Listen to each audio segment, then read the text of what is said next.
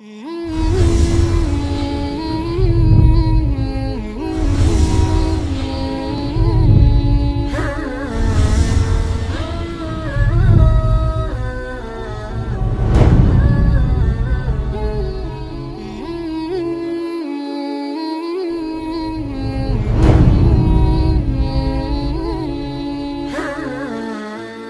الله الرحمن الرحيم.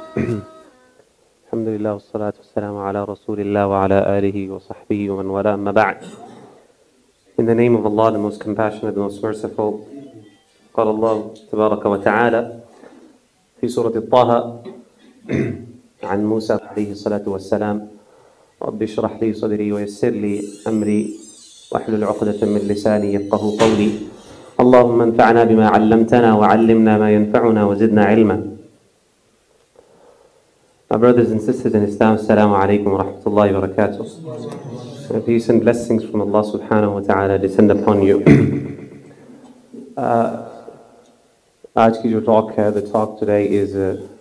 basically, it's not a kind of a workshop. It's basically a, a small lecture, you can say that, because uh, the topic is a bit serious and it uh, expects from us that we should understand and try to focus, try to uh, realize our own weaknesses and try to overcome those weaknesses and try to be among those people who are the chosen ones. So let us begin with the first thing. This is the seven under the shelter of Allah subhanahu wa ta'ala. Now, life after death. Now, this is the prob- uh, one of the things that is really interesting about life after death, which is uh, the life after death of a Muslim specifically, because we are Muslims and we believe that there is life after death. The reason why Islam has given so much importance to life after death is because of three reasons. This is an introduction, basically, and then we'll move on to the inshallah talk. The three reasons why Allah subhanahu wa ta'ala or the Islam has given is uh, life after death such importance because if you compare other religions اگر آپ دوسرے religions کو دیکھیں، اسلام کے علاوہ، تو ان religions کے اندر لائف آفٹر ڈیتھ کا کانسیپٹ ضرور ہے، آخرت کے دن کا ایک کانسیپٹ ہے۔ ایک لائف آفٹر ڈیتھ کا ایک کانسیپٹ ہے، لیکن وہ کانسیپٹ جو ہے، وہ اتنا کلیئر نہیں ہے، وہ ویگ ہے۔ آپ کرسچینٹی کو اٹھا کے دیکھ لیں، آپ جوڈائزم کو اٹھا کے دیکھ لیں، آپ دوسرے جو ہیں ریلیجنس ہیں، ان کو اٹھا کے دیکھ لیں، ان کے یہاں concept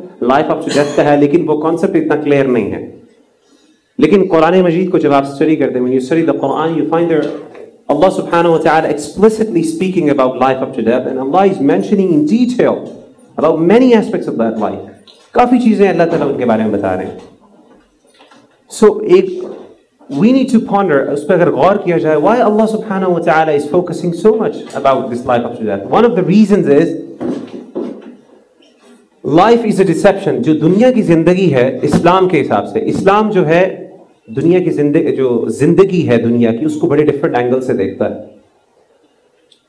اللہ تعالیٰ کے ہاں اور اسلام کے ہاں جو دنیا کی زندگی اٹس اے ڈسپشن قرآن مجید کے اندر اللہ تعالیٰ فرماتے ہیں دنیا کی زندگی کے بارے میں ذرا غور کریں۔ ومل حیات دنیا اللہ متاع الغرور۔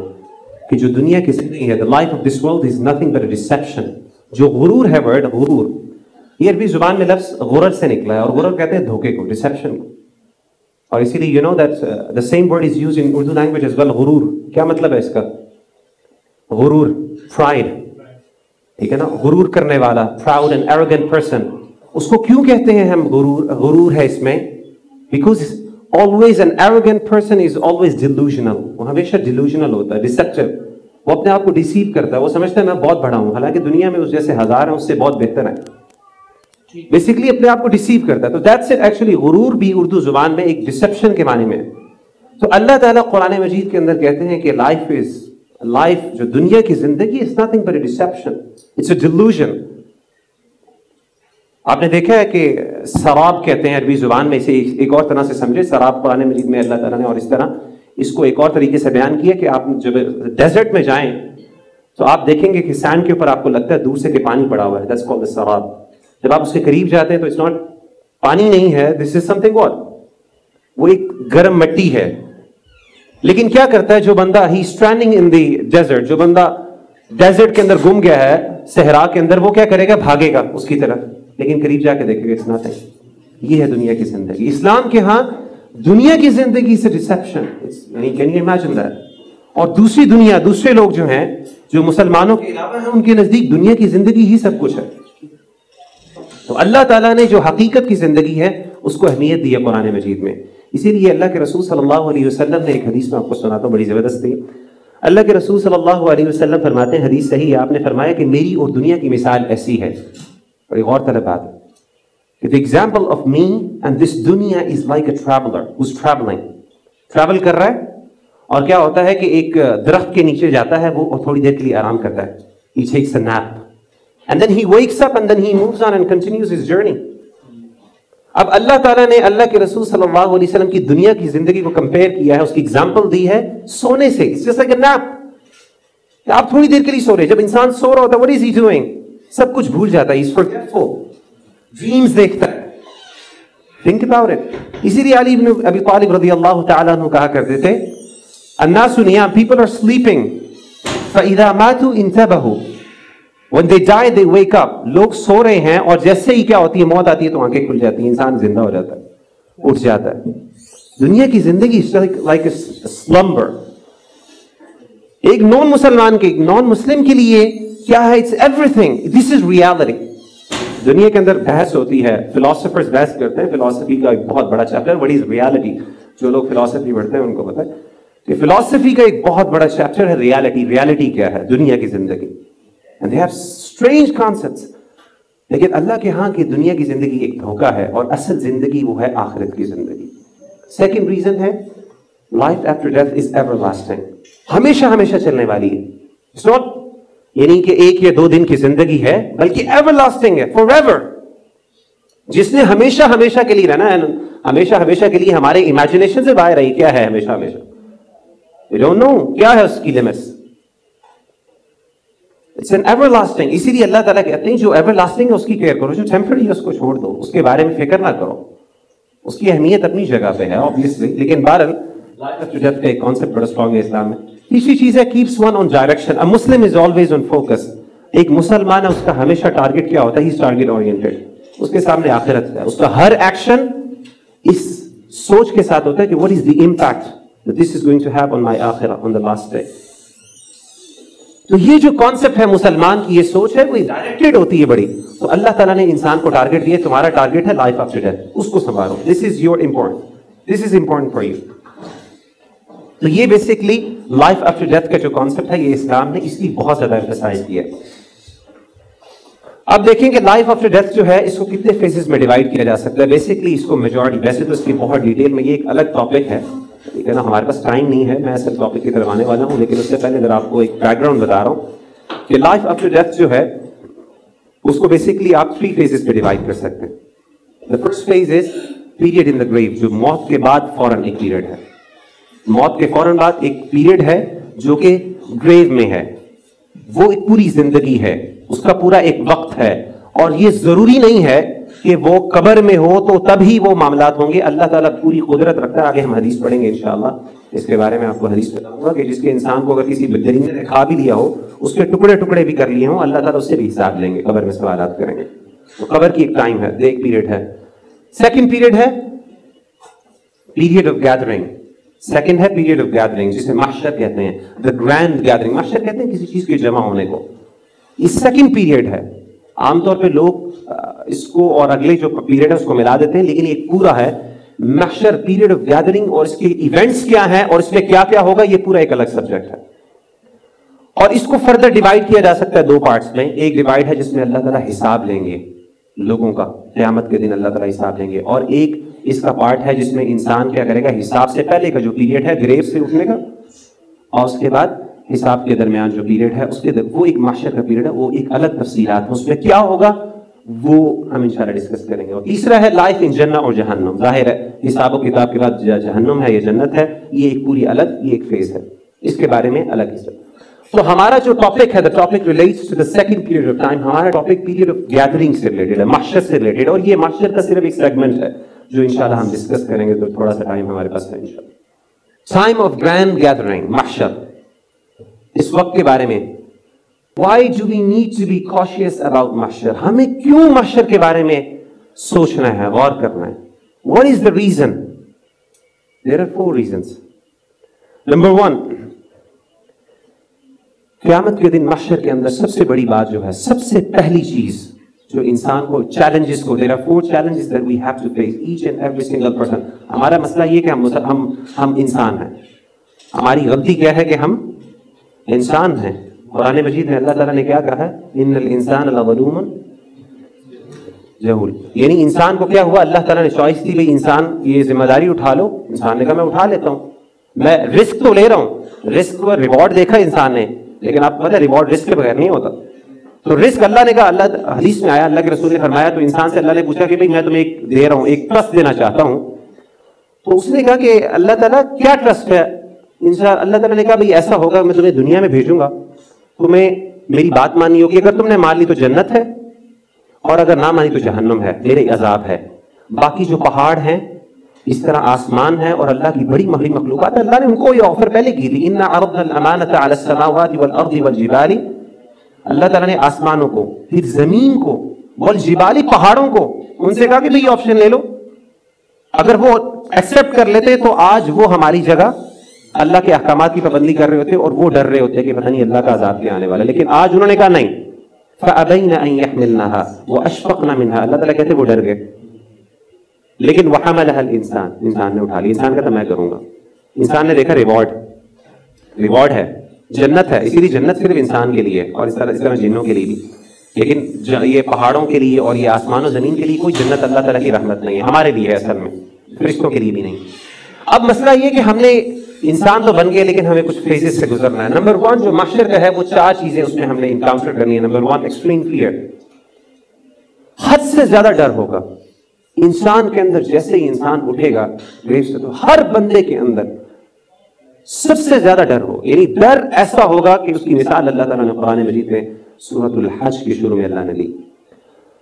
اللہ تعالیٰ فرماتے ہیں، اعوذ باللہ من الشیطان الرجیم، بسم اللہ الرحمن الرحیم، یا ایوہ الناس اتقوا ربکم ان زلزلت الساعت شیء عظیم۔ اے لوگو، مسلمان نہیں، ہر بندہ، اتقوا ربکم، اپنے اللہ سے ڈرتے ہو کیوں؟ ان زلزلت الساعت شیء عظیم، جو زلزلہ ہے، جو جھنجھوڑ ہے جو اللہ کی پکڑ ہے یعنی قیامت کے دن جو اللہ تعالیٰ کا محشر کے اندر جو تمہارے ساتھ ہونے والا ہے، وہ آخرت کی جو گھڑی ہے، شیء عظیم، it's a big thing it's a huge thing. Don't think just it's like this one hour that we have to spend in this world. No.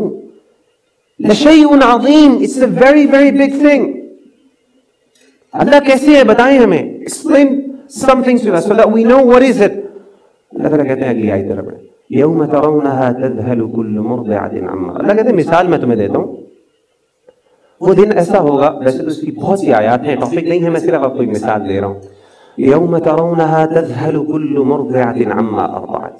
On that day the woman who is suckling her baby feeding her baby she would throw away her baby and run away. یعنی عورت جو ہے، وہ کیا کرے گی؟ جو دودھ پلانے والی عورت ہے، ماں یعنی ماں کی محبت، جب وہ خاص طور پہ اپنے بچے کو دودھ پلاتی ہے، اس وقت سب سے ایکسٹریم پر ہوتی ہے جتنی محبت سے اور جتنی وہ الفت کے ساتھ اس کو دودھ پلاتی اللہ کہتے ہیں وہ ایسا ٹائم ہوگا جب آسمان، جب اللہ کا وہ ٹائم آ جائے گا۔ محشر کا ٹائم تو حالت کیا ہوگی کہ عورت اپنے بچے کو پھینک دے گی، اپنے نیو بورن بیبی کو، جس کو وہ دودھ پلا رہی ہوگی، ڈر کی وجہ سے اس کو پھینک دے گی۔ وَطَبَعُ كُلُّ ذَاتِ حَمْلٍ حَمْلَهَا۔ صرف یہاں تک نہیں، اس کے بعد کیا ہوگا؟ کہ پھر جس نے، جس عورت نے اپنے پیٹ میں بچہ اٹھایا ہوگا، جو پریگننٹ ہوگی، اس ڈر کی وجہ سے اس کا جو بچہ ہے، وہ ضائع ہو جائے گا، وہ گر جائے گا۔ وَطَبَعُ كُلُّ ذَاتِ حَمْلٍ حَمْلَهَا۔ اور پھر لوگوں کی کیا حال ہوگی؟ وَتَرَ النَّاسَ سُكَارَ آپ لوگوں کو دیکھیں گے سکارا دے would be یعنی نشے کی حالت میں ہوں گے۔ سکارا کہتے ہیں، سکر آپ کو پتہ نشے کہتے یعنی وہ وہ سکر کی حالت میں ہوں گے، نشے کی حالت میں ہوں گے۔ یعنی کیسے نشہ کہ آپ نے کبھی کسی کی غم سے اور ڈر سے، آپ نے کبھی کسی ڈیتھ جن کے گھر کی ڈیتھ ہوتی ہے، آپ کبھی ان کے گھر میں جائیں، خواتین زیادہ بہتر سمجھتی ہیں جو دیکھتی ہیں، عورتوں میں زیادہ معاملہ ہوتا ہے۔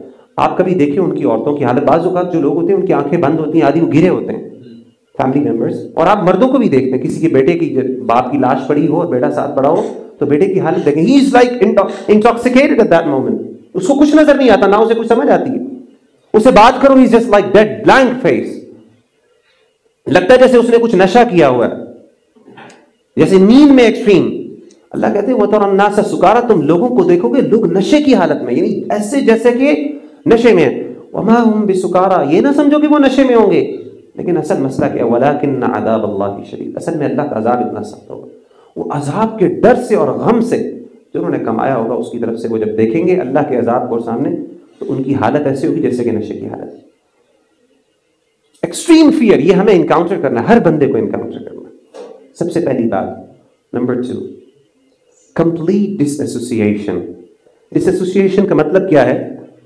یعنی اس دن ہر قسم کا، ہر قسم کا اس دن ریلیشن شپ ٹوٹ جائے گا۔ یعنی انسان، آپ پریشانی میں ہوتے ہیں تو سب سے پہلے آپ کو کس کا خیال آتا ہے؟ سب سے اپنے قریبی رشتے داروں کا نا، کہ کوئی مجھے بچائے گا، والد کا خیال آتا ہے، ٹھیک ہے؟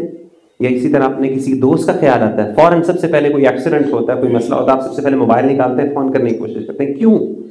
Why do you do that کوئی ہیلپ کرنے کے لیے نا۔ لیکن اللہ تعالیٰ کہتے ہیں، وہ دن ایسا ہوگا جس دن کوئی بھی کسی کا کوئی رشتہ دار نہیں ہوگا۔ ایوری تھنگ وڈ بی ختم۔ الذي لسون دي لسوني لسورة المؤمنون كعادنا الذي لكيف ميدان ونفخ في الصور يبصور when the trumpet would be blown فلا انساب بينهم then there will be no relationship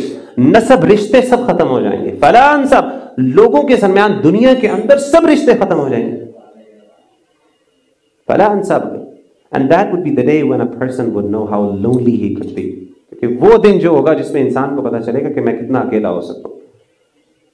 کیوں؟ کیسے؟ ولا یتساءلون اور نہ اللہ سوال نہ ان سے سوال کیا جائے گا نہ وہ ایک دوسرے سے پوچھیں گے نہ اللہ ان سے پوچھیں گے بھائی کیا ہے تمہارا باپ کو نہ لے کے آؤ۔ نہیں تم آؤ میرے سامنے۔ اکیلے آؤ۔ Each and every single person would face Allah سبحانہ و تعالی on the day of judgment directly اور حدیث میں آتا ہے کوئی درمیان میں ترجمان بھی نہیں ہوگا کوئی درمیان میں ٹرانسلیٹر بھی نہیں ہوگا سائڈ پر ہو جاؤ۔ آج میں اس سے خود بات کروں گا۔ بتاؤ تم نے کیا کیا کیا دنیا میں۔ So we need to ask ourselves question, are we ready for that meeting? اللہ تعالیٰ کو فیس کرنے کے لیے ہم تیار ہیں۔ گناہ ہم اتنے کرتے ہیں what do we do ہماری زندگی کو اور آپ دیکھیں صبح سے لے کے رات تک۔ Are we ready for that اللہ کو فیس کرنے کے لیے۔ One of the سلف سے ایک, ایک, ایک عالم دین نے کہا one of the سلف righteous predecessor he said مجھے اس بات کا ڈر نہیں ہے کہ میرے گناہ مجھے اللہ تعالیٰ میرے گناہوں کو معاف نہیں کریں گے۔ اللہ تعالیٰ میرے گناہوں کو معاف کر دیں گے مجھے امید ہے۔ میں توبہ کر لیتا ہوں۔ اللہ کی وعدہ ہے کہ اللہ معاف لیکن میں اپنے اللہ کو اپنی شکل کیا دکھاؤں گا؟ کیا شکل کس منہ کے ساتھ میں اللہ کو فیس کروں گا اس دن دس از دا دس از یہ مجھے اس بات کا غم. اچھا اب ذرا سنیے سورت العبس میں اللہ تعالیٰ کیا فرماتے ہیں؟ اندازہ لگائیے کہ انسان کتنا مطلب پرست ہو سکتا ہے۔ ہم دنیا میں دعوے کرتے ہیں نا کہ تمہارے لیے یہ کر دوں گا، تمہارے لیے وہ کر دوں گا۔ ذرا مطلب پرستی انسان کی دیکھیے۔ اللہ تعالیٰ فرماتے ہیں سورہ عبس میں، یوم یفر المرء من اخی اس دن کیا ہوگا؟ یوم یفر المرء من اخی a person would run away from his brother. اپنے بھائی سے بھاگے گا دور. وہی بھائی جس کے لیے دنیا کے اندر وہ لڑا کرتا تھا دوسروں کو، اسے کہتا تھا، تو کر، میں تیرے ساتھ ہوں. اپنے بھائی کا ہاتھ پکڑ کے وہ لوگ پوری دنیا سے مقابلہ کرنے کے لیے تیار ہو جاتا تھا۔ آج اللہ کہیں گے، یوم یفر بھاگ جائے گا، ڈر کے کیوں بھاگے گا؟ کہیں مجھے اس کو فیس نہ کرنا پڑ جائے، کہیں مجھ سے یہ کہہ دے، یار، میری مدد کر۔ کئی دنیا کے اندر مجھے احسانات نہ یاد کروائے، میں نے تیرے ساتھ فلام احسان کیا تھا، آج مجھے تیری مدد کی ضرورت ہے، تو کر، میری مدد کر۔ نہیں۔ بھول جا امیجن کریں کبھی آپ نے کسی کو قرض دینا آپ کو کوئی بندہ ایسا ہو جو آپ سے قرض مانگنے چاہتا ہو، یا کوئی مانگتا ہو، یا آپ نے کسی کے پیسے دینے ہوں اور آپ کو پتا چلے وہ سامنے سے آ رہا ہے۔ آپ کیا کریں گے؟ You try to run away try to اگر آپ کے پاس پیسے نہ ہوئے فرض کریں۔ میں ایک چھوٹی سی دنیا بھی مثال دے رہا ہوں just to understand the feeling so that we can feel actually what کیونکہ بعض اوقات یہ چیزیں ریئل نہیں لگتی تو کیا کرتے ہیں آپ؟ You try to avoid him is it you try to run away from him رستہ بدل لیتے ہیں قرض دینے والا بھی اور قرض لینے والا بھی رستہ بدل لیتا ہے اگر مانگنے والا ہو تو دونوں حالتوں میں تو کیا ہوتا ہے اللہ کہتے ہیں یوم یفر المرء من اخی انسان اپنے بھائی سے بات کرے اچھا بس بھائی سے نہیں اللہ کہتے ہیں ذرا صبر کرو آگے وہ امی ہی وہ ابھی اپنی ماں سے بھی اور اپنے بھائی باپ سے بھی یعنی دنیا کے اندر لوگوں کے نزدیک، میرا خیال ہے کہ آپ کے نزدیک، اگر میں آپ سے پوچھوں، اپنی اولاد جو خاص طور پہ بھی جن کی اولاد نہیں ہے، آپ کے نزدیک دنیا میں سب سے زیادہ امپورٹنٹ کون ہے آپ کے لیے؟ آپ کی والدہ ہے، آپ کا باپ۔ جس کے لیے آپ حرام بھی کھانے کے لیے تیار ہیں، اللہ کو ناراض کرتے ہیں آپ ٹوئنٹی فور سیون اللہ کی ڈسوبیڈینس کرتے ہیں، اسی اسی یعنی ماں اور اسی باپ کے لیے قیامت کے دن آپ اس کو منہ نہیں لگائیں گے۔ باپ سے بھاگیں گے، باپ کو نہیں دیکھیں گے، باپ سے اللہ کہتے فرار، یہ پھر کا مطلب فراز ہو جانا، چھپ کے نکل جانا کسی طریقے سے۔ اور ماں سے بھی یعنی ماں کی محبت، دنیا کے اندر لوگ ماں کے لیے کیا نہیں کرتے مجھے بتا۔ یعنی ماں کو کوئی بندہ چھوڑ سکتا ہے، اس سے بھاگیں گے۔ اچھا بس یہاں تک اللہ کہتے ہیں ذرا ایک اسٹیپ آگے بھی چلو۔ وہ صاحبت ہی و بنی اپنی بیوی سے بھاگو گے۔ یعنی بیوی کے لیے تم نے دنیا میں جو جو کچھ کیا، انسان اپنی بیوی کو خوش کرنے کے لیے بعض اوقات اپنے ماں باپ کے خلاف ہو جاتا ہے۔ اپنی بیوی سے بھاگو گے تم۔ وہی بیوی جس کے لیے تم دنیا کے اندر حرام بھی کھاتے تھے، کماتے بھی تھے، ہر برا کام کرنے کے لیے تیار تھے۔ اللہ صرف بیوی نہیں وہ بنی ہی بیٹے بھی۔ مجھے بتائیں، اس کے بعد انسان کی مطلب پرستی کا اندازہ کیا ہے؟ یعنی جب انسان نہ اپنے ماں باپ، نہ اپنے بھائی، نہ اپنی بیوی یا ہسبینڈ یا شوہر اور نہ ہی اپنی اولاد۔ جب انسان اس سے بھاڑ دے گا تو دوست کہاں پہ گیا بھائی؟ دوست کہاں پہ گیا اور رشتے دار دور کے ماموں خالہ کدھر گئے؟ دنیا میں لوگ بڑے کہتے ہیں جی ہم ماں کے لیے، بھائی ماں کی بات نہ کرو، ماں کے لیے میں کچھ بھی کر سکتا ہوں۔ اسلام کو بھی چھوڑ سکتا ہوں۔ بڑے لوگ بڑی عجیب عجیب دعوے کرتے ہیں۔ باپ کے لیے میں یہ بھی کر سکتا ہوں، میں اپنے ماں باپ کے لیے میں اپنے ماں باپ کی نافرمانی نہیں کر سکتا۔ اللہ کہتے ہیں قیامت کے دن پھر تم دیکھ لینا۔ تھرڈ مینٹل ٹارچر یہ ایک مینٹل ٹارچر بھی ہوگا. صرف یہ نہیں، ویسے تو ڈر کے اندر بھی آ جاتا ہے یہ. جب انسان ڈر میں ہوتا ہے تو ایک مینٹل ٹارچر ہوتا ہے. وہ مینٹل ٹارچر کیا ہوگا؟ انسان کو خوف، حزن، یا ہم. یعنی انسان کیا ہے؟ پریشانی کے، پتہ نہیں میرے ساتھ کیا بننے والا. اور یہ ایکسٹریم لیول کا.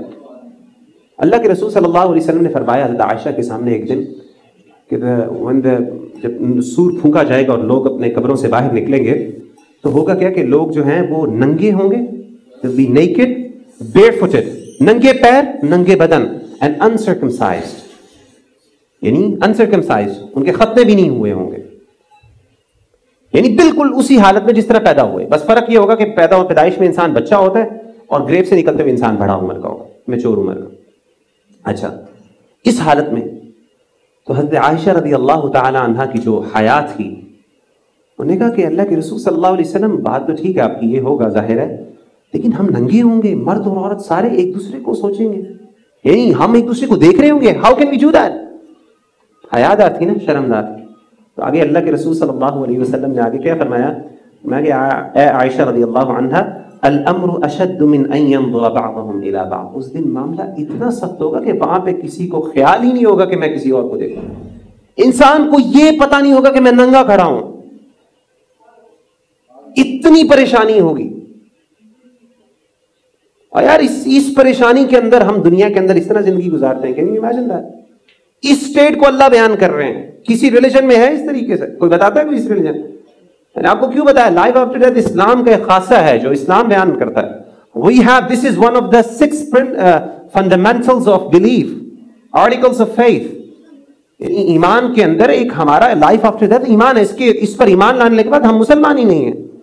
بے شک ہم نبی صلی اللہ علیہ وسلم کو مان لیں، فرشتوں کو مان لیں، کتابوں کو مان لیں، اللہ کو مان لیں، ہم کہیں ہم لائف آفٹر ڈیتھ کو نہیں مانتے، ختم نو وی ڈونٹ بلیو آگے چلیں مینٹل ٹارچر تو اس وقت اور بھی ہے، اللہ تعالیٰ حساب نہیں لیں گے، چھوڑ دیں گے، میں نے حساب، اس سے اللہ ناراض ہوں گے اس دن۔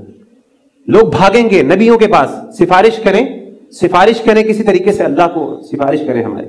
بڑی لمبی حدیث ہے، حدیث الشفاء، یہ ایک پورا الگ موضوع ہے، اس میں اس پر تفصیل بھی نہیں جانا تھا بہرحال ایکسٹریم ٹارچر کہ اللہ حساب تو شروع کرے، ہمارا فیصلہ کر دیں۔ کیونکہ وہ ویٹ کرنا انتظار میں۔ آپ پر کیس ہوا ہو اور آپ کو ڈر ہو کہ کہیں مجھے پھانسی نہ ہو۔ بات چھوٹی ہے، پھانسی نہ ہو جائے۔ چھوٹی موٹے تو فائن میں ہم چھوٹی موٹے فائنس پہ اتنا ڈر جاتے ہیں مجھے جیل نہ ہو جائے دو مہینوں کی یا دو سال کی۔ امیجن کریں کہ آپ کا فیصلہ ہو رہا ہے سامنے۔ صرف فیصلہ ہونے والا ہے کہ آج آپ کو زندہ رہنا ہے یا آپ نے مر جانا ہے یا آپ کو پھانسی کی سزا ہو جانی ہے۔ تو وہ جو آپ کی کیفیت ہوگی اس ٹائم اور آپ کو پتا ہے جس ٹائم پھانسی پہ لے جایا جاتا ہے، لوگوں کو تو اکثر لوگ جو ہیں وہ چل نہیں پاتے۔ اسٹریچر پہ لے کے جایا جاتا ہے۔ یہ امیجن کر لیں۔ غالباً مجھے پتا نہیں ہے، لیکن میں نے میرے والد صاحب نے بتایا تھا کہ جو بھٹو تھا، کہ جب اس کو پھانسی کی سزا، جس دن اس کی پھانسی تھی، تو اس کو اسٹرکچر پہ لٹایا گیا تھا۔ اور ایسا ہے، جن کو سزا ملتی ہے، ان کا یہ عالم ہوتا ہے۔ لیکن ناٹ ایون اسپیک کیا دنیا میں خیالات بھول جاتے ہیں؟ ڈر ایسا ہوتا ہے۔ تو امیجن کرے لائف آفٹر ہمیشہ ہمیشہ کے لیے سامنے جہنم کی عذاب. اللہ جہنم کے ہم آگے پڑھیں گے. جہنم اللہ لائیں گے سامنے. اس جہنم کے سامنے سامنے جہنم بڑک رہی ہے چیخے مار رہی ہیں چنگھاڑ رہی ہے.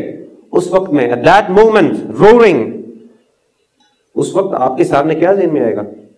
اور اللہ تعالیٰ آپ کا حساب نہیں دے رہے ہوں گے. آخری چیز اسکوچنگ ہیٹ جو ہمارے ریلیونس ہے، وہ یہ ہے کہ سخت گرمی. ایکسٹریم ہیٹ اتنی گرمی اتنی گرمی کہ حدیث میں اللہ کے رسول صلی اللہ علیہ وسلم نے فرمایا، یعرق الناس یوم القیامہ قیامت کے دن لوگ کیا کریں گے؟ اپنے پسینوں کے اندر ڈوب رہے ہوں گے۔ اور اعمال، برے اعمال کے مطابق، کسی کا پسینہ اس کے گھٹنوں تک ٹخنوں تک، کسی کے یہاں تک، اور گھٹنوں تک، کسی کے ٹخنوں تک۔ کسی کو کوئی اپنے کسی کے کانوں تک۔ پسینہ۔ اور کئی کو لگامیں دی ہوں گی۔ یعنی پسینے ایسے بہ رہے ہوں گے اور حدیث میں آتا ہے اتنے گیلے ہوں گے۔ کہ it would be going down in the earth seven cubits یعنی ستر زرا کے جو ہے نا میجرمنٹ کے مطابق وہ نیچے جا رہا زمین کے اندر جو پسینہ ہے وہ جذب ہوتا جا رہا ہوگا اور انسان کے پسینے نکل رہے ہوں ڈر کی وجہ سے بھی اور اسی طریقے سے سورج کی وجہ حدیث میں اللہ کے رسول صلی اللہ علیہ وسلم نے فرمایا تدن الشمس، شمس قریب آ جائے گا، سورج آ جائے گا. اور ایک حدیث میں انس بن مالک کی حدیث میں اللہ کے رسول نے فرمایا کہ میل کے فاصلے پر آ جائے گا. اب راوی جو ہے نریٹر ہم کہتے ہیں، مجھے نہیں پتا کہ میل کیا ہے وہ، کیونکہ میل دو ہے عربی زبان میں ایک مائل جو انگلش میں یوز ہوتا ہے، مائل ہے ڈسٹنس یا میل عربی زبان میں جو جو آئی لائنر ہوتا ہے نا، جو سرمے کا جیسے کوہل کا آئی لائنر ہوتا ہے، اس کو بھی عربی زبان میں میل کہتے ہیں۔ کہتے ہیں، مجھے نہیں پتا کہ یہ مراد اللہ کے رسول نے وہ میل لیا ہے یا پھر وہ ڈسٹنس والا مائل لیا ہے۔ اتنی گرمی ہوگی۔ اور اس گرمی میں، اتنی گرمی کے اندر، لوگ کیا کریں گے؟ بھاگیں گے۔ تڑپیں گے۔ اس گرمی کے اندر کہ کوئی سایہ مل جائے۔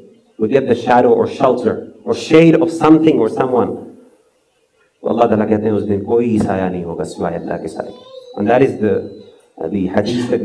لیکن وہ کون لوگ ہوں گے؟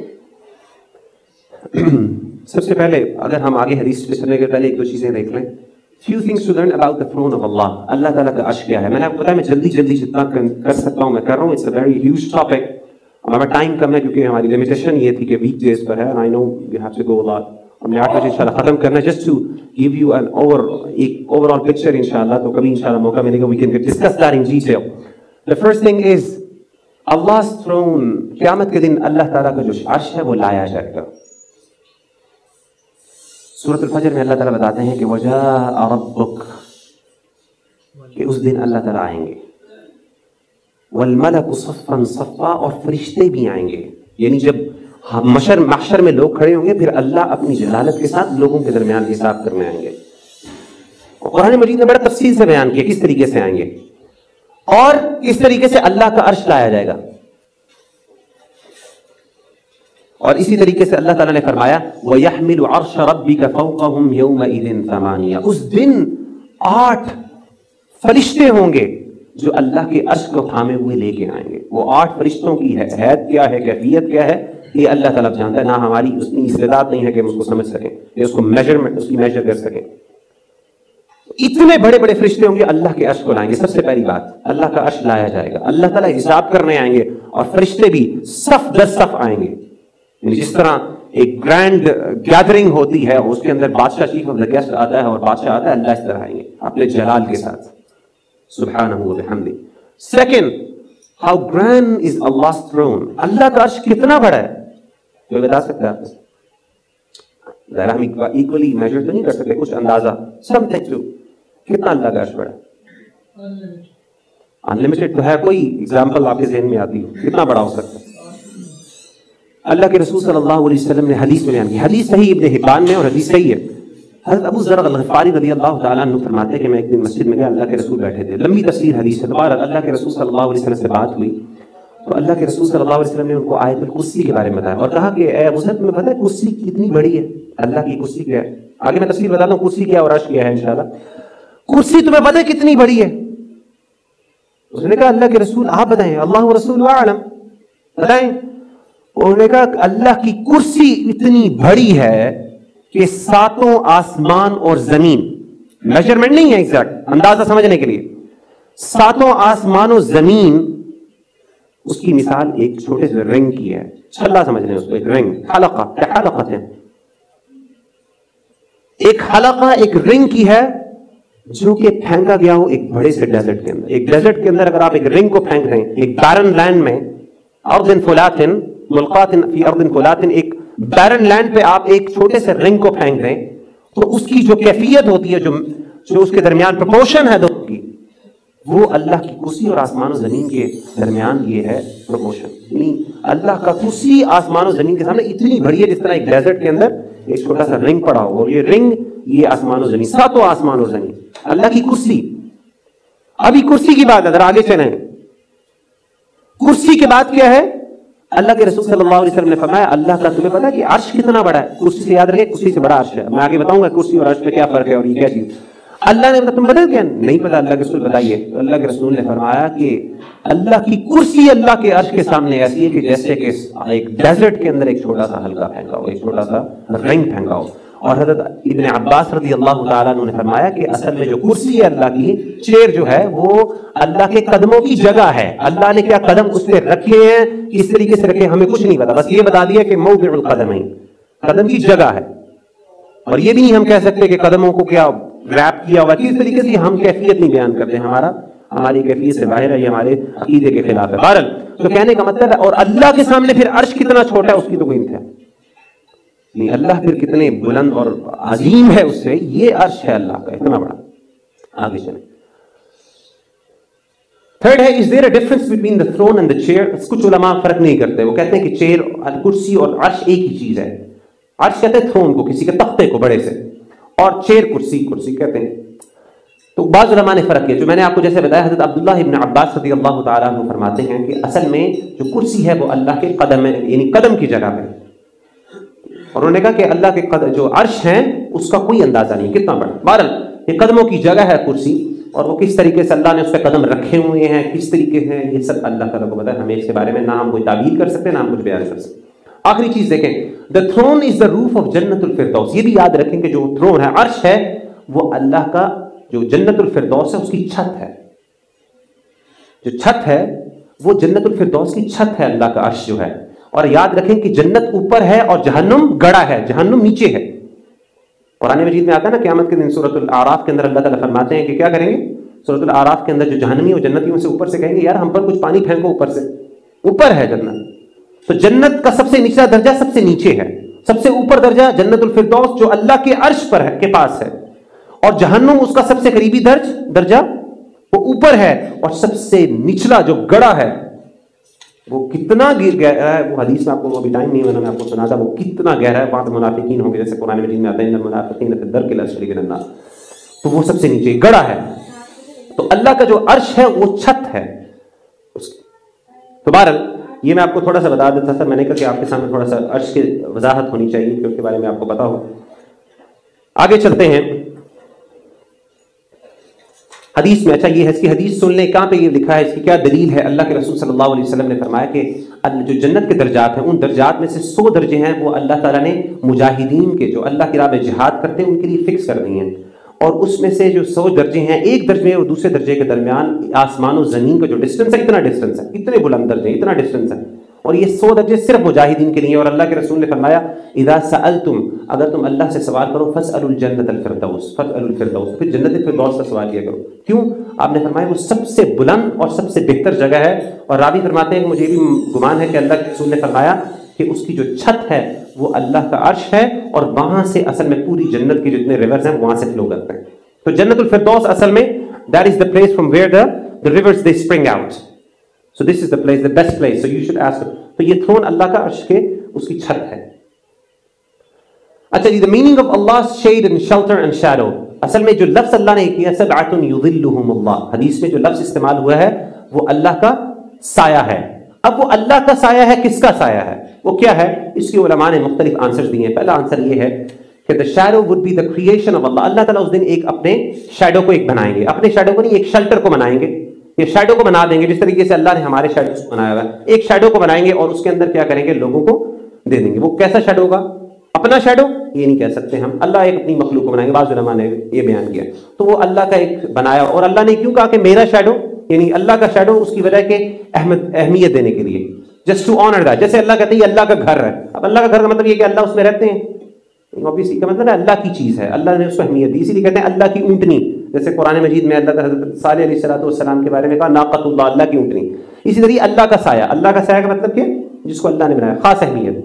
دوسری بات علماء نے کہا کہ it would be in fact the shadow of Allah's throne as other hadith specifies its meaning کہ وہ اصل میں اللہ کا عرش کا سایہ ہوگا، اللہ کا نہیں ہوگا۔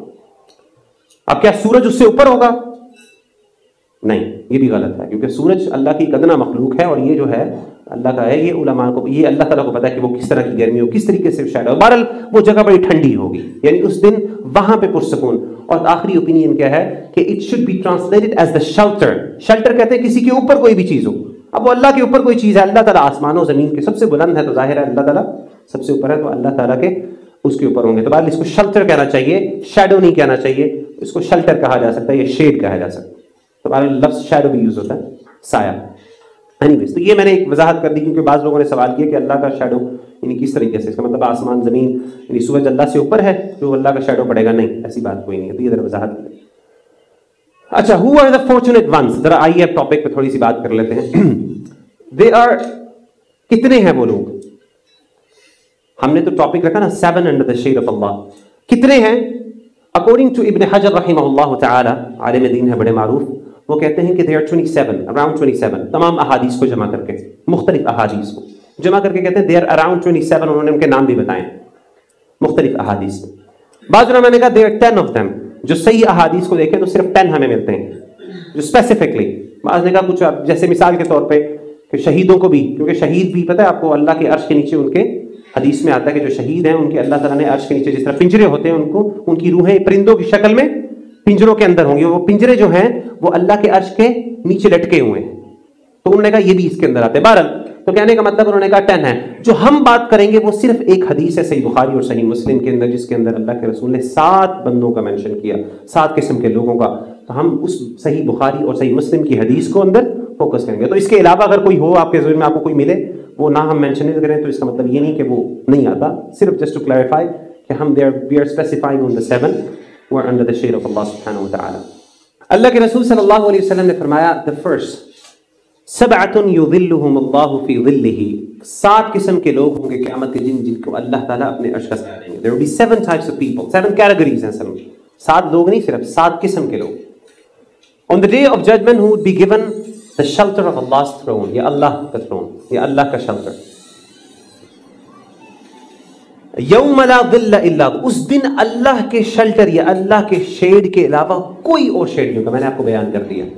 بالکل کوئی اور نہیں ہوگا، وہی صرف ایک پروٹیکشن کی جگہ ہوگی جہاں ملے گی۔ اور اس میں سات قسم کے سات قسم کے لوگ۔ سب سے پہلے اللہ کے رسول نے فرمایا، امام امام عادل۔ یعنی پہلا وہ شخص جو قیامت کے دن اللہ تعالیٰ جس کو اپنے عرش کا سایہ دیں گے، امام عادل he would be a just ruler a leader امام کہتے ہیں لیڈر کو، یہاں سے مراد صرف ریلیجس امام نہیں ہے، یہاں سے مراد عادل یعنی حکمران. عادل، حکمران، یہ وہ پہلا شخص ہوگا جس کو اللہ تعالیٰ بلائیں گے اور کہو گے، آج میں تجھے اپنا شیلٹر دیتا ہوں آج. اور کیوں؟ ایک عام بندہ کیوں نہیں؟ Why not normal human being کیوں نہیں ایک نارمل بندہ؟ کوئی بتا سکتا ہے؟ کیا ریزن مطلب what is the reason just leader کیوں ایک جسٹس ایک حکمان کا جسٹس کیا جی اللہ تعالیٰ نے اختیار دیا ہوتا ہے نا کہ کسی ایک بندے کو کہ تم نے حکمران بننا بنایا ملک کا اس کے بعد اس نے جواب دینا ہوتا کے دن کہ بھائی کہ میں نے میری ذمہ داری تھی میں نے اس کو پورا کیا ہے ٹھیک ہے آپ بات آپ کی صحیح ہے لیکن تھوڑا سا میرے خیال سے کلیئر کلیریفائی نہیں کر سکے کوئی اور بتا سکتا ہے جی ایکچولی اٹس رسپانسبلٹی لیکن رسپانسبلٹی بھی ہے لیکن ایک اور چیز جو اصل ہے نا وہ پتہ کیا ہے اتھارٹی کس نے اتھارٹی آپ نے کہا ایگزیکٹلی دیٹس دی اتھارٹی کہ جو اتھارٹی ہے نا، مجھے آپ بتائیں، میں ایک بندہ ہوں جس کے پاس کوئی اختیار نہیں، ٹھیک ہے؟ نا میرے انڈر کوئی بھی نہیں آتا بیچارہ اب مجھ جیسا بندہ ہے، وہ جسٹ ہو جائے جسٹس کرے تو وہ کدھر پریکٹس کرے گا جسٹس میں کھو بھی چاہوں تو اس اور یعنی ٹھیک ہے، اچھی بات ہے، اچھی کیریکٹرسٹک ہے، لیکن پتا تب کیا چلتا ہے، ایک بندے کا جسٹس تب میجر کیا جاتا ہے جب اس کو کوئی اتھارٹی دی جائے۔ یار تیرے پاس رول ہے you can you can enforce your will you can do whatever you want to وہاں پہ جب اختیار ملے when you are given the choice when you can enforce your will when you have the power to control or to اور, اور خاص طور پہ جب آپ کے پرسنل انٹرسٹ سٹیک پر ہوتے ہیں تب آ کے جب انسان انصاف کرتا ہے نا تب اللہ تعالیٰ کو بندہ وہ ہے اصل میں ایمان اور وہ صرف عام نہیں وہ ہر بندہ علماء نے کہا کہ اسے ہم نے اسپیشلی امام عادل کا مطلب صرف اس کے ساتھ اصل میں تو وہی بندہ ہوگا. لیکن اللہ تعالیٰ ان لوگوں کو بھی جگہ دیں گے جو خاص طور پہ وہ لوگ ہوں گے جو کہ انصاف کرنے والے، کوئی بھی لیڈر رسپانسبل پرسن حدیث میں اللہ کے رسول صلی اللہ علیہ وسلم نے فرمایا، کلکم راعن و کلکم مسئولون اب رعیتی ہر بندہ تم میں سے ذمہ دار ہے۔ اور قیامت کے دن اس کے بارے میں سوال کیا جائے گا۔ باپ سے حدیث میں آیا، اللہ کے رسول نے کہا، باپ سے پوچھا جائے گا، گھر کے بارے میں، عورت سے نہیں پوچھا جائے گا۔ گھر کے ذمہ دار مرد ہے، عورت نہیں ہے۔ تو معذرت کے ساتھ کہنا پڑے گا کہ مردوں کو چاہیے گھر کی ذمہ داری اٹھائیں۔ ہے نا مرد ذمہ دار ہے۔ قیامت کے دن اللہ نے اگر آپ نے جواب دینا ہے don't let your wife make you no leave the house آپ کو اللہ نے ذمہ داری آپ کو دی۔ آپ جتنے مرضی بچے بن جائیں، قیامت کے دن اللہ نے آپ سے سوال کرنا ہے۔ ہاں تم ادھر آؤ ذرا۔ اللہ کے رسول میری، اللہ تعالیٰ میری وائف جو تھی، اس نے مجھے نہیں کر دیا اسے سوال کریں۔ سائڈ تم آؤ۔ ایسی بات نہیں ہے۔ اللہ نے تم سے سوال کرنا ہے، بتاؤ تمہاری بیوی کے ساتھ تم نے کیا سلوک کیا؟ تم نے اپنے بچوں کے ساتھ کیا سلوک کیا؟ تمہارا گھر کیسا تھا؟ تمہاری فیملی لائف کیسی تھی؟ اللہ سبحانہ و تعالیٰ is going to ask you. امام گھر کا ذمہ دار۔ پھر اسی طرح عورت کی ذمہ داری بھی ہے۔ اللہ کے رسول نے کہا عورت کی ذمہ داری، مرد کی ذمہ داری کیا ہے؟ گھر کی ذمہ داری۔ عورت کی ذمہ داری کیا ہے؟ اللہ کے رسول نے فرمایا، ایک بیوی کی ذمہ داری ہے کہ وہ اپنے شوہر کی غیر موجودگی میں اس کے گھر کی حفاظت کرے، اپنی استطاعت میں اور اسی طریقے سے اپنی جان کی، اپنے نفس کی، اپنی عفت کی اور عصمت کی حفاظت کرے۔ اپنے آپ کو بچا کے رکھے۔ یہ ایک عورت کی ذمہ داری، قیامت کے دن اللہ نے پوچھنا ہے کہ تم ذمہ داری۔ اسی طریقے سے ایک بندہ کسی تنظیم کا یا کسی آرگنائزیشن کا جو ہیڈ ہے، وہ رسپانسبل ہے۔ اللہ اس میں، اور انصاف کرنا۔ جسٹ لیڈر اللہ کے رسول صلی اللہ، اور انصاف کے بارے میں اللہ کے رسول صلی اللہ علیہ وسلم کتنے ٹچی تھے، میں بتاتا ہوں آپ کو۔ ایک بندہ آیا ایک بندے نے قبیلہ مخزوم بڑا مشہور واقعہ آپ نے سنا ہوگا۔ قبیلہ مخزوم کیا ایک, ایک عورت تھی اس نے چوری کر لی اللہ کے رسول کے دور میں۔ قبیلہ مخزوم قریش کا ایک بڑا معروف قبیلہ تھا۔ یعنی وہ سمجھ لیں کہ فیملی جو تھی نا بڑی ایکسٹریملی رسپیکٹیبل فیملی تھی۔ تو اس کی ایک عورت نے مرد نے بھی نہیں ایک عورت نے چوری کر لی۔ اب ظاہر ہے مرد عام طور پہ کرتے ہیں عورتیں کم ہی کرتی ہیں۔ اور یہ عورت کے لیے ایک اچھی فیملی کی بڑی امیر کبیر عورت جو چوری کرتی ہے یہ بڑی عیب دے بات عیب والی بات۔ ہوا یہ کہ اس نے کیا کیا؟ چوری کر لی۔ کیس آیا اللہ کے رسول کے، اللہ نے کہا کہ اللہ کے رسول نے کہا کہ حد لگے گی، ہاتھ کاٹے جائیں گے۔ تو اب وہ جو تھے، اس کے فیملی کے لوگ تھے، انہوں نے کہا، یار، یہ تو بات خطرناک ہے۔ انہوں نے کہا کہ ایسا کرتے ہیں کہ یار، اللہ کے رسول سے کچھ نہ کہتے ہیں کہ اللہ کے رسول اس کو چھوڑ دیں، آپ ایسا کریں، کچھ پیسے پیدا ہم دینے کے لیے تیار ہیں، کچھ ایسے کر لیتے ہیں۔ یعنی اس کو یہ ہاتھ نہ کاٹیں، یہ بڑی ہمارے لیے ایک نا، ہماری فیملی کے لیے بدنامی والی بات۔ تو کہا، لیکن اللہ کے رسول صلی اللہ علیہ وسلم کا اس بارے میں جو یعنی جو ڈیڈیکیشن تھی انہیں پتا تھا، ان کے تو ہمت نہیں ہوئی کہ جا کے اللہ کے رسول کو خود فیس کریں۔ انہوں نے کہا، کوئی بندہ ڈھونڈے۔ جو بڑا اللہ کے رسول کو پیارا ہو۔ اللہ کے رسول صلی اللہ علیہ وسلم کو حضرت زید جو تھے، ان کے بیٹے اسامہ بن زید۔ اللہ کے رسول کے منہ بولے بیٹے تھے زید رضی اللہ جن کو لوگ زید بن محمد بھی کہتے تھے۔ ان کے بیٹے اسامہ جو تھے، اللہ کے رسول ان کو اپنے پوتوں کی طرح پیار کرتے تھے۔ بہت پیارے تھے اللہ کے رسول۔ انہوں نے کہا، اسامہ بن زید کو بھیجتے ہیں۔ اللہ کے رسول کو بڑی محبت ہے سفارش کے لیے۔ اسامہ بن زید گئے۔ اللہ کے رسول ایسا کریں کہ ان کو چھوڑ دیں آپ، ان سے کچھ اور آپ ان کو کچھ اور کر دیں۔ جب اللہ کے رسول صلی اللہ علیہ وسلم نے یہ بات سنی تو آپ نے کہا تم اللہ کے حدود کے بارے میں مجھ سے سفارش کرتے ہو؟ اور آپ صلی اللہ علیہ وسلم نے فرمایا تم سے پہلے جو نیشن جو تباہ ہوئی ہیں، وہ اس لیے تباہ ہوئی ہیں کہ جب ان میں سے کوئی معزز اور امیر گھرانے کا یا علی فیملی کا کوئی بندہ چوری کرتا تھا، اس کو چھوڑ دیتے تھے۔ اور جب بیچارہ کوئی غریب کرتا تھا، تو اس کے ہاتھ سب سے پہلے کاٹے جاتے تو اللہ کے رسول صلی اللہ علیہ وسلم نے فرمایا، آپ آگے سنیں، آپ صلی اللہ علیہ وسلم نے فرمایا، لو ان فاطمہ بنت محمد بنت محمد سرقت لقطعت يدها۔ کہ اللہ کی قسم، اس ذات کی قسم جس کے ہاتھ میں جانا، اللہ کی قسم، اللہ کے رسول کہہ رہے ہیں کہ اگر آج اس عورت کا نام بھی فاطمہ تھا۔ تو اللہ کے رسول نے کہا کہ اگر آج میری بیٹی فاطمہ یہ چوری کرتی تو میں آج اس کے بھی ہاتھ کاٹتا یہ انصاف جو ہے جسٹ لیڈر یہ کوئی چھوٹی بات نہیں ہے۔ تو اللہ کے اختیار ملنے کے بعد جو انصاف کرتا ہے، تو قیامت کے دن اللہ تعالیٰ کیا کریں گے؟ اس کو اپنے عرش کا سائز نصیب فرمائیں گے۔ تو جیسے میں نے بتایا it also include every respectable person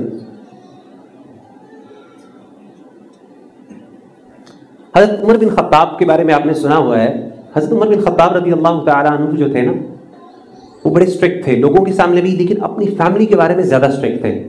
اور حضرت عمر بن خطاب رضی اللہ تعالیٰ عنہ فرماتے ہیں سیر من عالم النبلا میں غالب امام زہبی نے اس بات کو مینشن کیا ہے۔ یہ پھر مجھے اس کا ریفرنس یاد نہیں، بہرحال۔ تو حضرت عمر بن خطاب رضی اللہ تعالیٰ عنہ کیا کرتے تھے کہ وہ جب بھی کسی کو رول پاس کرتے تھے تو اپنی فیملی کے پاس جاتے تھے۔ اور جا کے کہتے تھے میری بات یاد رکھو۔ انہوں نے کہا کہ میں نے لوگوں کو تو یہ رول پاس کر دیا ہے۔ لیکن انہوں نے کہا کہ الناس ينظرون الیکم کالطیر الى اللحم او کما قال۔ کہ لوگ تمہیں اس طرح دیکھتے ہیں جس طرح پرندہ گوشت کے ٹکڑوں کو دیکھتا ہے نا۔ یعنی the people they are always looking اچھا عمر نے ہمیں تو کہا، ذرا ہم دیکھتے ہیں کہ اپنے گھر والوں کے ساتھ کیا سلوک کرتا ہے۔ دے آر آلویز ٹرائنگ اور ایسا ہوتا ہے۔ Whatever you do ہر بندہ آپ کو کوئی رسپانسبل دیتا ہے۔ اگر آپ کسی جگہ پہ جاب کر رہے ہو اور آپ کے باس کا بیٹا بھی وہاں پہ کام کر رہا ہو تو آپ کے نتیجے بھی باس کوئی بات کرتا ہے؟ آپ کہتے ہیں، ذرا میں دیکھتا ہوں، یہ اپنے بیٹا بھی اس کی مانتا ہے کہ نہیں؟ What is the first thing یہ ایٹیچیوڈ ہر بندے کے اندر ہے۔ اور یہ صرف حکمران کی بات نہیں، یہ علماء کے بارے میں بھی ہے۔ دا پیپل دے ڈونٹ یعنی ایک عالم کی غلطی کبھی کوئی بندہ معاف نہیں کرتا۔ بیچارے، ہر بندے کی غلطی، بڑے سے بڑا گناہ معاف ہو جاتا ہے عالم کی غلطی۔ پھر اسی طریقے سے عالم کی بات چھوڑے طرح نیچے آ رہے ایک مولوی کی غلطی کبھی کوئی معاف نہیں کرتا۔ میری ایک بندے سے بحث ہو رہی، میرے کلی کی تھے، ہیں بھی۔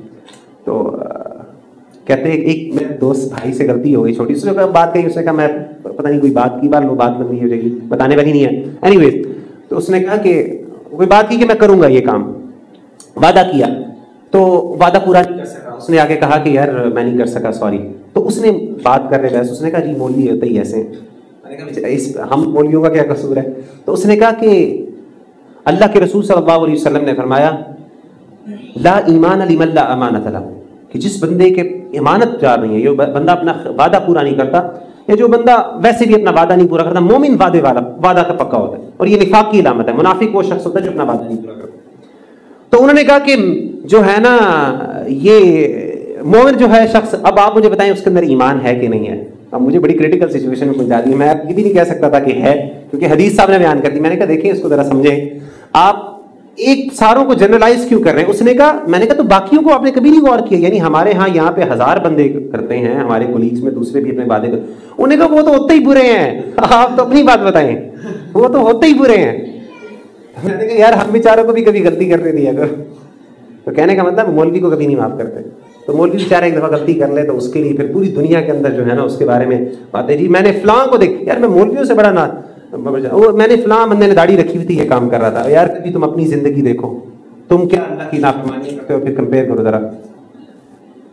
مجھے کہتا ہے کہ میں نے اسے کہا، میں نے کہا کہ کہتے کمپیر میں نے کہا کمپیریزن اگر کرنا کہتے کمپیریزن کرنے لگا نا۔ تو میں نے کہا کمپیریزن نہ کیجیے گا۔ میں نے کہا کہ ورنہ پھر میں آپ کو میں بھی بتاتا ہوں کہ داڑھی والے اور مولویوں کو کمپیئر ابھی ہم کرتے ہیں تو دیکھتے ہیں کون برا ہے، کون اچھا ہے۔ کمپیریزن نہ کیجیے گا، کیونکہ کمپیریزن میں اگر آپ کو ملیں گے تو بڑے ہی آپ کو جو اللہ معاف کریں مولوی بہرحال پھر بھی بہتر ہے کئی لوگوں سے، ہر اعتبار سے۔ اینی ویز تو کہنے کا مطلب یہ ہے کہ لوگوں کو نہ عالم کو کوئی معاف کرتا ہے اور اس کی چھوٹی چھوٹی غلطیاں پکڑی جاتی ہیں۔ میرے ایک جگہ لیکچر دے رہا تھا۔ تو اللہ کی طرف سے میں نے ٹوپی پہنی ہوئی تھی، میں نے ٹوپی پہنی ہوئی تھی۔ اور قرآن مجید کا درس ہو رہا تھا۔ تو میں نے ٹوپی پہنی ہوئی تھی، اس کے اندر سے بعض وہ جالی والی ٹوپی کے اندر نا بعض اوقات بال نکلے ہوتے ہیں۔ تو میرے تھوڑے سے بال نکلے ہوئے یہاں سے۔ اور کافی ڈسٹینس بڑا بڑا ہال تھا ماشاء اللہ کافی لوگ تھے۔ رمضان میں دورہ قرآن ہو رہا تھا۔ تو ختم ہونے کے بعد لوگ میرے سے آتے ملتے تھے سوال کرتے تھے میں چھوٹا بھی تھا، بڑے لوگ تھے بےچارے میری عمر بھی کم تھی۔ وہ آتے ہیں میرے پاس، ایک بندہ آیا اور کہتا ہے کہ آپ کو میں نے آپ کی بات کرنی میں نے کہا جی کہتے ہیں آپ کے بال نظر آ رہے ہیں اوپر سے۔ میں نے کہا، یار، میں نے دیکھا، واقعی یہاں سے باہر نکلے ہوئے تو ہوتا یہ ہے کہ وہ، میں نے کہا، یار مطلب اس طریقے سے لوگ غور کرتے ہیں۔ کہنے کا مطلب یہ کہ حضرت عمر بن خطاب نے کہا، لوگ آپ کو تمہیں جو ہے نا اس طرح دیکھتے جیسے پرندہ گوشت کے ٹکڑے کو دیکھتا کہ ابھی مجھے تھوڑا موقع ملے میں اس کو اچک لوں۔ تو انہوں نے کہا کہ اگر فرض کرو میں نے تمہیں یہ گناہ کرتے دیکھ لیا جو میں نے تمہیں نافرمانی اگر تم نے میری نافرمانی کی، اس رول کو توڑتے ہوئے دیکھ لیا، تو میں تمہیں پھر ڈبل سزا دوں گا باقیوں سے۔ کیونکہ میں لوگوں کو یہ بات نہیں دینا چاہتا کہ عمر بن خطاب کی جو اپنی فیملی کو یہ کرتی ہے اور دوسروں کو یہ حکم دیتے ہیں۔ میں یہ برداشت نہیں کر سکتا۔ دوبارہ حضرت عمر بن خطاب کا یہ انصاف اپنی فیملی کے ساتھ۔ تو جو انصاف کرنے والا رول ہے وہ سب سے پہلے۔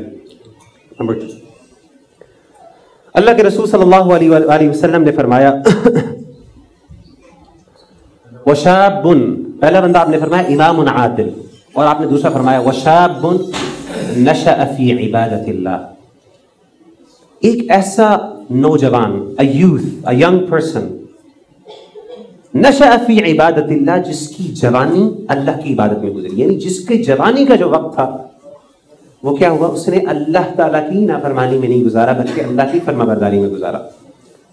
اس کی وجہ کیا ہے؟ وائی بیکاز سمپل بات ہے کہ worshipping in young age is more beloved to Allah than worshipping him in the old age.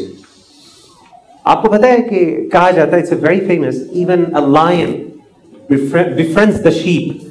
جو بوڑھا even old lion befriends the sheep. یعنی جو ایک بوڑھا شیر ہے، وہ بھی بھیڑ سے دوستی کر لیتا ہے۔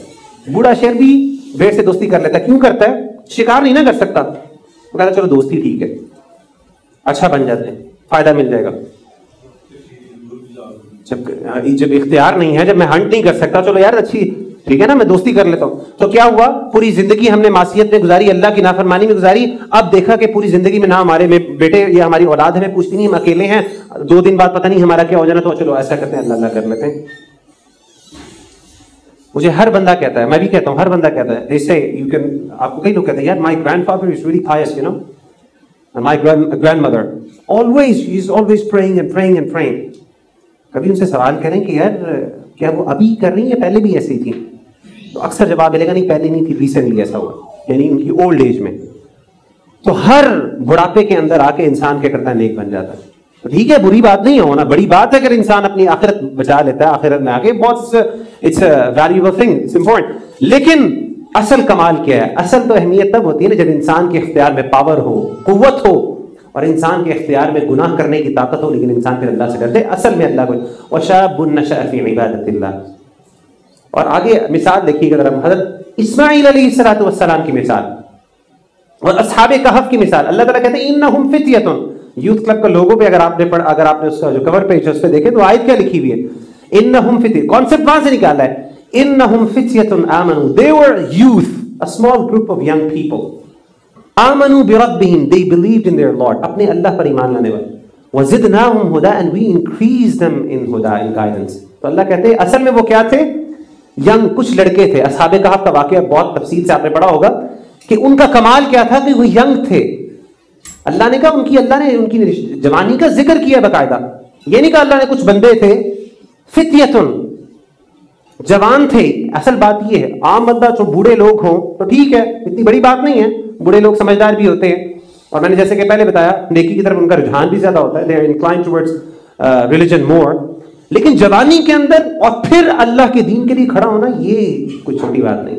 انہم فتیت آمنوا بربہم اللہ کہتے ہیں دو باتیں۔ اللہ نے کہا، اصل بنیاد کہتی ہے اللہ پر ایمان لانے اور حضرت اسماعیل علیہ السلاۃ والسلام کی بات۔ حضرت اسماعیل علیہ السلاۃ والسلام کا جو یوتھ ہے وہ کیا ہے؟ یعنی حضرت اسماعیل علیہ السلاۃ والسلام نے جب حضرت صورت الصافات کے اندر اللہ تعالیٰ بیان کرتے ہیں، ہم بعض اوقات سمجھتے ہیں کہ یہ نبی جو ہے نا، یہ اصل میں ہم سے ماورا یعنی ہم ان کو اچیو نہیں کر سکتے دے آر ناٹ اٹینیبل جب بھی کوئی ایگزامپل دی جائے نا، یار اللہ کے رسول تو ایسے، یار اللہ کے رسول تو، یار وہ نبی تھے نا، چھوڑ دو۔ کیا مطلب ہے؟ اللہ کے نبی تھے تو کیا مطلب ہے؟ انسان نہیں تھے۔ کیا ان کے اندر فیلنگز نہیں تھیں؟ کیا ان کے اندر ڈیزائر نہیں تھے؟ حضرت یوسف علیہ السلاۃ والسلام کے اندر ڈیزائر نہیں تھے؟ تھے۔ ہم سے زیادہ تھے، بلکہ حدیث میں آتا ہے کہ ایک نبی کے اندر ایک انسان سے بہت زیادہ قوت ہوتی ہے طاقت ہوتی ہے بہت زیادہ طاقت ہوتی۔ ہے ایک نبی سے بہت زیادہ طاقت ہوتی۔ ہے جب طاقت ہوتی ہے تو ظاہر ہے اس کے طاقت کے ساتھ جو لوازمات ہوتے ہیں وہ بھی زیادہ ہوتے ہیں۔ ڈیزائرز بھی زیادہ ہوتے ہیں، لیکن سب سے زیادہ کنٹرول پھر ان کو اپنی ذات پہ کتنا کنٹرول کرنا پڑتا ہے؟ ان کے لیے کوئی فتنہ چھوٹی بات نہیں ہوتا۔ انبیاء کو جو اللہ تعالیٰ آزماتے ہیں، وہ چھوٹی باتوں سے آزماتے ہیں۔ حضرت حضرت یوسف علیہ السلاۃ والسلام کا واقعہ ہم پڑھ لیتے ہیں۔ ہم کہتے ہیں جی ایک عورت نے ان کو دعوت دی، انہوں نے بچا لی، اپنے آپ کو یہاں پہ ختم کر دیتے ہیں۔ آپ کو کیا پتا؟ امام ابن تیمیہ رحمہ اللہ تعالیٰ نے لسٹ لگائی ہے جو آزمائش، جو ٹیسٹ سے وہ گزرے تھے۔ آپ کو ٹاپک ہوگا کس دن میں آپ کو بتاؤں گا۔ انشاءاللہ ہمارا ویسے ماڈسٹی پر ایک ہے، اس پہ انشاءاللہ میں تھوڑا سا بیان کروں گا۔ This is not a small thing Ismail علیہ السلاۃ والسلام اللہ کے رسول حضرت ابراہیم علیہ السلاۃ والسلام نے کہا کہ میری اللہ تعالیٰ کے معاملے میں مدد کرو۔ انی اذبحک فانظر ما ترى قرآن مجید میں کہتے ہیں نا کہ اے, اے میرے پیارے بیٹے انی اذبحک انی ارا فی المنام انی اذبحک۔ کہ I have seen in my dream that I am slaughtering you? فانظر ماذا ترى تمہاری کیا اوپینین ہے؟ ذرا اوپینین بتاؤ۔ تو آگے سے اسماعیل کا ذرا جواب قال یا ابت افعل ما تؤمر۔ افعل ما تؤمر۔ اے اللہ اے نبی اے میرے ابا جان افعل ما تؤمر جو اللہ نے حکم دیے، کر گزریے، پوچھے نہ، سوال نہ کریں ستجدنی انشاءاللہ من الصابرین۔ آپ مجھے صبر، انشاءاللہ مجھے صبر کرنے والے میں پائیں گے۔ یہ کون کہہ رہا ہے بیٹا؟ یار، یہ آپ کو کوئی باپ آ کے کہے کہ بیٹا، میں نے تجھے ذبح کرنا چاہتا ہوں، آپ اس کا گلا پکڑ لیں گے۔ تو بیٹے نے کیا کہا؟ انشاءاللہ من الصابرین۔ افعل ما تو میں ایک تو حدیثیں آپ کو سنانا چاہتا، ٹائم نہیں ہے اسی میں نہیں سنا پا رہا۔ انشاءاللہ پھر ہمارا جو اگلا ہوگی اس میں انشاءاللہ ٹاپک ملے گا تو ہم اس پہ بات کریں گے۔ تو بہرحال، میں یہ بتانا چاہ رہا تھا آپ کو کہ جوانی کے اندر جو جوان شخص ہے، اس کی توبہ، اس کی توبہ بھی اللہ کو بڑی پسند ہے اور اسی طریقے سے اس کی عبادت بھی اللہ کو پسند ہے، جیسی مرضی ہے۔ تو اللہ نے آپ سب کو ماشاءاللہ موقع دیا ہے، ہم میں سے اکثر کو، کہ جوانی کے اندر اللہ تعالیٰ اس جو ہے نا خاص طور پہ یہ دعا پڑھا کریں۔ ربنا لا تزغ قلوبنا بعد اذ هديتنا وهب لنا من لدنك رحمة انك انت کیونکہ جوانی ایسی عمر ہے، ایک منٹ میں اندر انسان کا دل پھرتا ہے۔ تو یہ انسان اور بڑے لوگ بڑے آرام سے پھر جاتے ہیں۔ آگے چلتے ہیں۔ دا تھرڈ اللہ کے رسول صلی اللہ علیہ وسلم نے فرمایا، the third man ورجل قلبه معلق بالمساجد۔ اللہ کے رسول نے فرمایا، تیسرا وہ شخص جس کو اللہ تعالیٰ جنت اپنے عرش کا سایہ دیں گے، جس کا دل مسجد کے ساتھ معلق ہوگا۔ یعنی the one who is in love with the masjid. There are two meanings. Number one who is fond of masjid? Who is in love with masjid? جس کا دل مسجد کے ساتھ جڑا ہوا ہے he is regular in fulfilling his obligations with regards to the masjid. جو ایک یہ بھی معنی بیان کیا کہ نماز مسجد سے باہر پڑھی نماز پڑھی نماز پڑھ کے باہر نکلا ابھی خیال آ رہا ہے یار اذان اگلی کب ہونی میں ٹائم دیکھوں ٹائم میرا الارم سیٹ ہے everything is done I have to go back again یہ نماز اس بندے کی ہے جس کا تعلق مسجد کے ساتھ اٹیچ ہے ہمارا کیا تعلق ہے الیاز باللہ بتانے کی بات نہیں ہے ہمارے ہاں سب سے نیک آدمی وہ ہے، عام طور پہ نیک شخص وہ ہے میجورٹی اگر نیکی کی بات کریں تو وہ ہوتی ہے جیسے اقامت ہوئی تو بھاگے۔ بڑی بات ہے، یہاں تک وہ بڑی بات ہے، اقامت آگے بڑی بات ہے۔ جواب دے دیا۔ تو امیجن کہ وہ شخص جس کا دل مسجد میں ہے، وہ کیا کرے گا؟ جیسے ہی اذان ہوگی he would run away to the مسجد جب آپ نے کسی سے ملنا ہوتا ہے، کسی دوست سے بہانہ ڈھونڈتے ہیں نا آپ ملنے کے لیے۔ کہ میں اسے گھر جاؤں کسی طریقے سے کوئی بہانہ بنے یار let's have a get together اور سم تھنگ تو ایک بندہ وی از دا ون جس کا دل مسجد کے ساتھ معلق ہے اللہ کے رسول صلی اللہ علیہ وسلم نے فرمایا قیامت کے دن اللہ کیونکہ اللہ سے محبت ہے نا اس شخص کو۔ اور یاد رکھیے گا جس بندے کو اللہ سے محبت, جس بندے کو مسجد سے محبت ہے یہ اس کی ایمان کے لیے جس اگر آپ سمجھتے ہیں کہ آپ کو مسجد سے محبت ہے اگر آپ محسوس کریں آپ بتا سکتے ہیں اپنے بارے میں اگر آپ سمجھتے ہیں مجھے مسجدوں سے محبت ہے تو سمجھ لیں آپ کے اندر ایمان۔ کیونکہ اللہ تعالیٰ نے فرمایا انما یعمر مساجد اللہ من آمن باللہ۔ اللہ تعالیٰ کی جو مسجدیں ہیں، اس کو مینٹین کون کرتے ہیں؟ جو اللہ پر ایمان لاتے ہیں۔ تو اگر آپ کو مسجد سے محبت ہے، اور مسجد کی محبت کس طرح ہوتی ہے؟ مسجدیں بنوانا۔ چھوٹی مسجد میں کانٹریبیوٹ کرنا، مسجد کی صفائی کرنا۔ میں نے ایک ینگ لڑکے کو، بہت ہی ایجوکیٹڈ لڑکے کو، ٹھیک ہے؟ دبئی میں یو اے میں، جہاں پہ میں ہوتا ہوں۔ میں نے اس کو دیکھا مسجد سے نکلتے ہوئے وہاں پہ انہوں نے رکھے ہوتے ہیں۔ وہاں پہ نا اکثر یہ بڑی اچھی ہے ان لوگوں کے یہاں یہ کہ ایک ٹریڈیشن ہے کہ وہ ہر ہر مسجد کے بعد نا وہ کچھ کھانے پینے کی کچھ چیز رکھی، بوتل پانی کی جو لوگ گئے ہیں وہ دیکھیں ہوئے، دیکھی ہوگی کہ مساجد کے اندر ہر نماز کے بعد انہوں نے نا کچھ، کوئی بندہ اپنی طرف سے نا کوئی جو جوس کے پیکٹس ڈبے رکھے ہوتے ہیں، جو بندہ گزرتا ہے، کوئی کھجورے لے آتا ہے، کوئی بعض اوقات کھانے لے آتا ہے، کوئی پیسز کھانے کی چیزیں بڑی مختلف چیزیں پڑی ہوتی ہیں، پانی جوس سے عام طور پہ پانی بڑا بڑا ہوتا ہے، پانی کی بوٹلز رکھی ہوتی ہیں، آپ جاتے ہوئے جس کو پیاس لگی وہ پی لے لوگ نیکی کے لیے کرتے ہیں۔ تو اس نے کیا کیا؟ میں نے دیکھا اس بندے کو وہ کیا کر رہا ہے کہ وہ کونے کے اندر نا لوگ نے جلدی جلدی پی کے پھینک وہاں پہ رکھ رہے ہیں۔ اب وہ کیا ہوا کہ وہ ڈسٹ بن جو رکھا ہوا تھا وہ سارا بھرا ہوا تھا اور گرا ہوا تھا۔ ادھر پھر لوگوں نے ٹیشو بھی ڈالے، وہ ٹیشو بھی گرے ہوئے پائے۔ اب لوگ جلدی جلدی میں کر کے چلے۔ کونے میں پڑا ہوا ہے وہ بندہ میں نے خود اس بندے کو دیکھا، اپنے ہاتھوں سے اٹھا۔ نماز سے واپس آیا، اس نے دیکھا گن پڑا ہوا۔ وہ ادھر سے شروع ہوا، اس نے وہاں سے اٹھایا۔ ٹیشو کو اپنے ہاتھوں سے اٹھایا، اس کو ڈالے اپنے جیب ڈالا، اس کے اندر پلاسٹک بیگ لے کے آیا، اس کے اندر ڈالے۔ اور پھر اس کے بعد صفائی چیزوں اپنے ہاتھوں سے چیزیں اٹھا اٹھا کے اس میں ڈال رہے اور اٹھا کے کیا کر رہا ہے کہ اس کو اچھی طرح ریپ کیا، اس کے دوبارہ شاپر ڈالا، اس کے اندر ڈبا کھولا، سیٹ کیا لوگوں کے لیے۔ اٹھا، کتنی چھوٹی سی بات ہے۔ لیکن آپ کو کیا پتا چل رہا ہے؟ یہ نہیں وہ کیوں کر رہا ہے؟ دکھانے کے لیے اس میں کیا دکھا گا یار؟ آپ کو میں کسی کو کہوں یہاں سے کہ یار یہاں پہ گند پڑا ذرا صاف کر دیں، آپ کہیں گے یار میری توہین کر دی اس بندے نے۔ اللہ کے ہاں یہ کام آپ کے کتنے ہیں؟ میں آپ کو بتایا ایک عورت تھی رسونی کا صحیح بخاری کی حدیث ہے۔ ایک عورت اللہ کے رسول کے دور میں مسجد کی صفائی کیا کرتی تھی، مسجد نبوی کی۔ ایک حدیث میں لفظ ہیں رجل ان کے، کہ ایک شخص تھا یا پھر کالی عورت تھی، سیاہ عورت یعنی بالکل جسے کہتے ہیں غلام عورت، جس کو ہم سمجھتے ہیں ایک عام سی عورت، بالکل سادہ۔ اس کا کام کیا تھا کہ وہ فارغ وقت میں آ کے مسجد کی صفائی کر جائے اور اس زمانے میں مسجد کی صفائی کیا تھی؟ مٹی، کچی مسجدیں تھیں، وہاں پہ فرش تو تھا نہیں۔ صفائی چھوٹی موٹا گندہ اٹھا لیا۔ تو ایک دن کیا ہوا کہ اللہ کے رسول آتے تھے، روزانہ دیکھتے تھے اس کو۔ تو ایک دن کیا ہوا؟ آپ نے دیکھا کہ وہ ہے نہیں وہاں پہ۔ تو اللہ کے رسول صلی اللہ علیہ وسلم نے صحابہ کو بلایا، کہتے پوچھو کدھر گئی ہے وہ عورت؟ وہ وہ جو سیاہ فام عورت ہے۔ امراۃ سودا کدھر ہے؟ تو صحابہ نے کہا اللہ کے رسول اس کی کل وفات ہو گئی تھی۔ کل وفات ہو گئی تھی۔ تو اللہ کے رسول نے کہا تو وفات ہوگی تو مجھے تم نے بیان کیوں نہیں کی؟ بتایا کیوں نہیں؟ اس نے کہا اللہ کے رسول، اس کی کیا اہمیت ہے آپ کے سامنے؟ یعنی ہم آپ کو ڈسٹرب کرتے ہیں اس کو بنانے کے لیے۔ اور اللہ کے رسول نے کہا تمہیں کیا پتا اس کا کیا مقام ہے اللہ کے؟ ہاں مجھے لے کے چلو اس کے پاس، اس کی قبر کے پاس لے کے چلو۔ اور اللہ تعالیٰ نے اللہ کے رسول کو صحابہ اس کی قبر پہ لے گئے، آپ نے سارے صحابہ کو بلایا اور آپ نے پھر اس کے لیے دعا کی، وہاں پہ قبر پہ کھڑے ہو کے حدیث سے ہی بخاری کی ہے۔ یعنی دنیا کے اندر یہ لوگ جو ہیں، ہمارے ہاں گٹیا ترین لوگ ہیں۔ ہمارے ہاں نتھنگ صفائی کرنے والے کس کو؟ ہمارے نزدیک اہمیت ہے کوئی؟ لیکن اللہ کے ہاں ان کی کتنی اہمیت ہے you can not even imagine this is یہ ہے وہ بندے جو دل سے مسجد سے محبت کرتے ہیں۔ مساجد سے مسجدیں بنانا، مسجدوں کے شوق کرنا، مسجدوں میں جانا، بچوں کو لے کے جانا، اپنی فیملیز کو لے کے جانا۔ اللہ تعالیٰ کو سب سے پسندیدہ دنیا کے اندر جو جگہ ہے مسجد ہے۔ سب سے زیادہ۔ اور سب سے بہترین جگہ کون سی ہے؟ اللہ اکبر۔ اور ہمیں سب سے زیادہ پسند کون سی جگہ ہے؟ ریاض اللہ اچھا آگے چلتے ہیں۔ اللہ کے رسول نے فرمایا کہ ورجولانی دو شخص، دو مرد۔ تحابا فی اللہ جو اللہ جو محبت کرتے ہیں اللہ کے لیے، صرف اللہ کے لیے۔ اجتماع علیہ، they gather for the same reason وتفرق علیہ، and they depart for the same reason وہ دو شخص جنہوں نے صرف اللہ کے لیے محبت کی، آپس میں۔ اسی کے لیے وہ جمع ہوئے اور اسی کے لیے وہ علیحدہ ہوئے۔ یہاں پہ اس کمیونٹی سینٹر میں ماشاءاللہ آپ لوگ آتے ہیں، ملنے آتے ہیں، کس لیے آتے ہیں؟ کیا دنیا بھی کوئی ریزن ہوتا ہے؟ اینی ریزن دعا کریں کہ اللہ تعالیٰ ہم لوگوں کو بھی ان میں جمع کر دیں۔ یہ اللہ کا حمد رجلان تحابا فی اللہ اجتماع اللہ کے لیے محبت صرف اللہ کے لیے۔ امام مسلم رحمہ اللہ امام مسلم رحمہ اللہ نے ایک حدیث بیان کی بڑی خوبصورت میں آپ کو بیان کرنا چاہتا حضرت ابو رضی اللہ تعالیٰ عنہ فرماتے ہیں کہ اللہ کے رسول فرماتے ہیں کہ ایک شخص تھا وہ جا رہا تھا۔ جا, جا رہا تھا یہ۔ تو ہوا یہ کہ اپنے نا کسی دوست سے اپنے بھائی سے مسلمان بھائی سے ملنے جائے تو دوسری بستی میں surprise he was walking لمبا سفر تھا جا رہا تھا بعد۔ تو اللہ تعالیٰ نے کہا کہ پیغام دے کہ فرشتے کو بھیجا حدیث صحیح ہے، صحیح مسلم کی ہے یعنی ریلائبل اوتھینٹک نریشن گو اور اس کے بعد جا کے اس کے رستے میں بیٹھ جاؤ۔ تو وہ بیٹھ گیا، وہ بندہ، وہ شخص بیٹھ گیا وہ فرشتہ بیٹھ گیا جا کے۔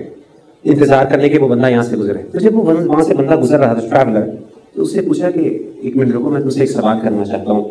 اس نے کہا کہا اس نے کہا، کیا سوال ہے؟ اس نے کہا، میں یہ پوچھنا چاہتا ہوں، تم کدھر جا رہے ہو؟ اس نے کہا، میں فلاں فلاں دوست سے، اپنے بھائی سے ملنے جا رہا ہوں۔ تو اس نے کہا، تم کیوں ملنے جا رہے ہو؟ کہتے میں اللہ کے لیے ملنے جا رہا ہوں. کہتے تمہارے پاس کوئی کوئی اور ریزن ہے? اینی ادر ریزن ہو سکتا ہے اس نے کبھی تم پر کوئی احسان کیا ہو، کوئی اچھائی کی ہو، تم کہو، یار مجھے ملنا چاہیے اس سے. کوئی فیور کی ہو جس کا ریٹرن تم سمجھتے ہو کہ یو یو او ہم one or something like that you oh um something you او ہم وزٹ اور سم تھنگ ضروری ہے مجھے جانا پڑے گا، مجھے جانا چاہیے، ناراض ہو جائے گا. ایسی کوئی چیز ہے؟ اس نے کہا، نہیں، کوئی ایسی چیز نہیں ہے، میں صرف اس لیے جا رہا ہوں کہ مجھے اس شخص کو اللہ کے لیے محبت ہے، صرف اللہ کے لیے محبت اس فرشتے نے کہا کہ، تو سنو، میں کیا؟ اس نے کہا کہ، فَإِنِّي رَسُولُ اللَّهِ إِلَيْكَ۔ میں سن لو پھر اور سے سنو کہ میں اللہ کی طرف سے ایک بھیجا ہوا پیغمبر ہوں، ایک رسول ہوں میسنجر میسنجر ہوں۔ میرے پاس اللہ کے لیے یعنی میرے پاس تمہارے لیے اللہ کی طرف سے ایک میسج ہے۔ وہ میسج یہ ہے کہ، بِأَنَّ اللَّهَ قَدْ أُحِبُّكَ كَمَا أَحْبَبْتَهُ فِيهِ۔ کہ اللہ تعالیٰ بھی بالکل تم سے اب اسی طرح محبت کریں گے جس طرح تم اس شخص سے محبت کرنے جا رہے ہو، اس کی رضا کی۔ کہ if you are going just for the sake of love for the just for the sake of Allah just because you love him for the sake of اس کے لیے جا رہے ہو، تو سمجھ لو کہ یہ اللہ تعالیٰ کو بھی تم سے اسی لیے جسی اسی طرح محبت۔ اور اللہ آج تم سے محبت، اور میں بتاؤں اللہ کی محبت کوئی چھوٹی بات نہیں ہے۔ اللہ کی محبت کے ثمرات کیا ہیں؟ وہ تو الگ بات ہے۔ ایک چھوٹی سی بات حدیث سناتا ہوں، یہ حدیث صحیح بخاری کی ہے۔ اللہ کے رسول نے فرمایا کہ جب بھی اللہ تعالیٰ کو کسی شخص سے محبت ہوتی ہے تو اللہ تعالیٰ کیا کرتے ہیں؟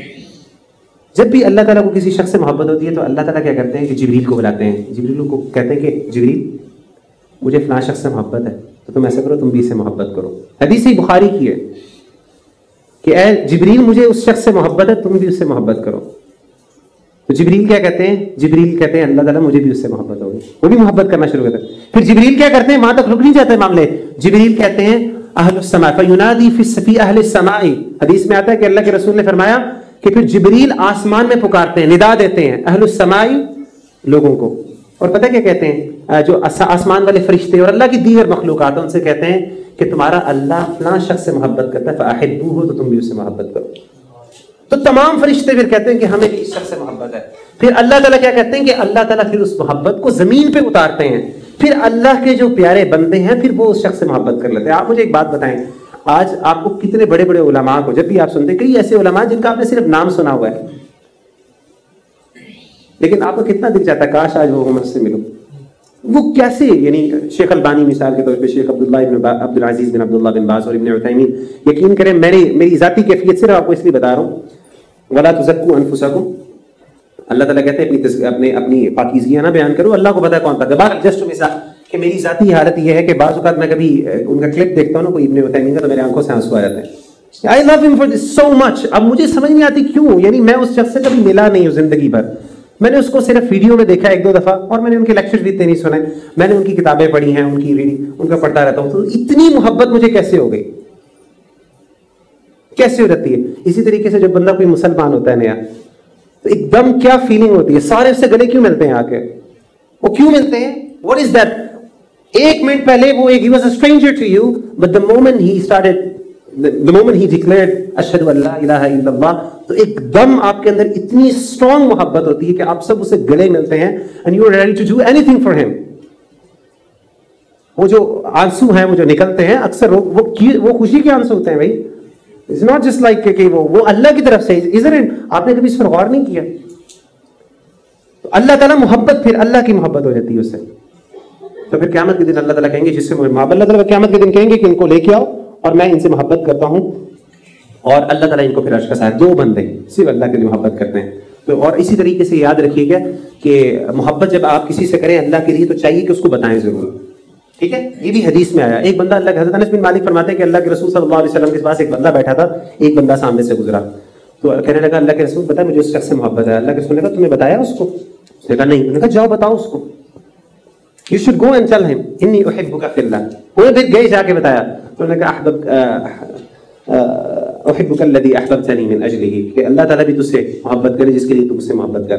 نہیں، اللہ بھی تجھ سے محبت کرے، جس کے خاطر تم سے محبت تو کہنے کا مطلب یہ ہے۔ تو یہ بتانا کہ اگر انسان کو اللہ کے لیے محبت ہو تو کیا کرے اس کو بتانا ضروری چاہیے، بتائیں۔ This is important for you چھپا کے نہ رکھے That's what Allah wants. This is the uswa of the Prophet sallallahu alaihi wasallam and the لیکن یہ صرف مردوں کے لیے، ٹھیک ہے؟ عورتوں کو نہیں، آپ نے بتانا جا کے۔ اور اس طرح عورتیں بھی مردوں کو نہ بتائیں۔ ہوتا ہے آبویسلی ایک اچھا انسان ہے اس کے لیے محبت پیدا ہوتی ہے۔ نیچرل مرد کو بھی ہوتی ہے، عورت کو بھی۔ ایک اچھی، ایک نیک عورت کے ساتھ مرد کو محبت ہوتی ہے، بالکل ہوتی ہے۔ اور اس عورت کو بھی ہوتی ہے تو اس میں کیا کرنا ہے؟ ہم نے کیا کرنا ہے؟ کہ اس کو ڈکلیئر نہیں کرنا۔ وائی اس لیے نہیں کیونکہ حرام ہے بلکہ اس لیے کیونکہ وہ ایک کسی اور مسئلے کی طرف بات چلی جاتی۔ آگے چلتے ہیں۔ Fifth one The third last one, the Prophet sallallahu alayhi wa sallam said, وَرَجُلٌ دَعَتْهُ إِمْرَأَةٌ ذَاتَ مَنْصَبٍ وَجَمَالٍ فَقَالَ إِنِّي أَخَافُ اللَّهِ. انشاءاللہ اس پر میں اتنی بات نہیں کروں کیونکہ ہمارے لیے اس پر ایک الگ ٹاپک ہے جو ہم پرسوں انشاءاللہ بات کریں گے۔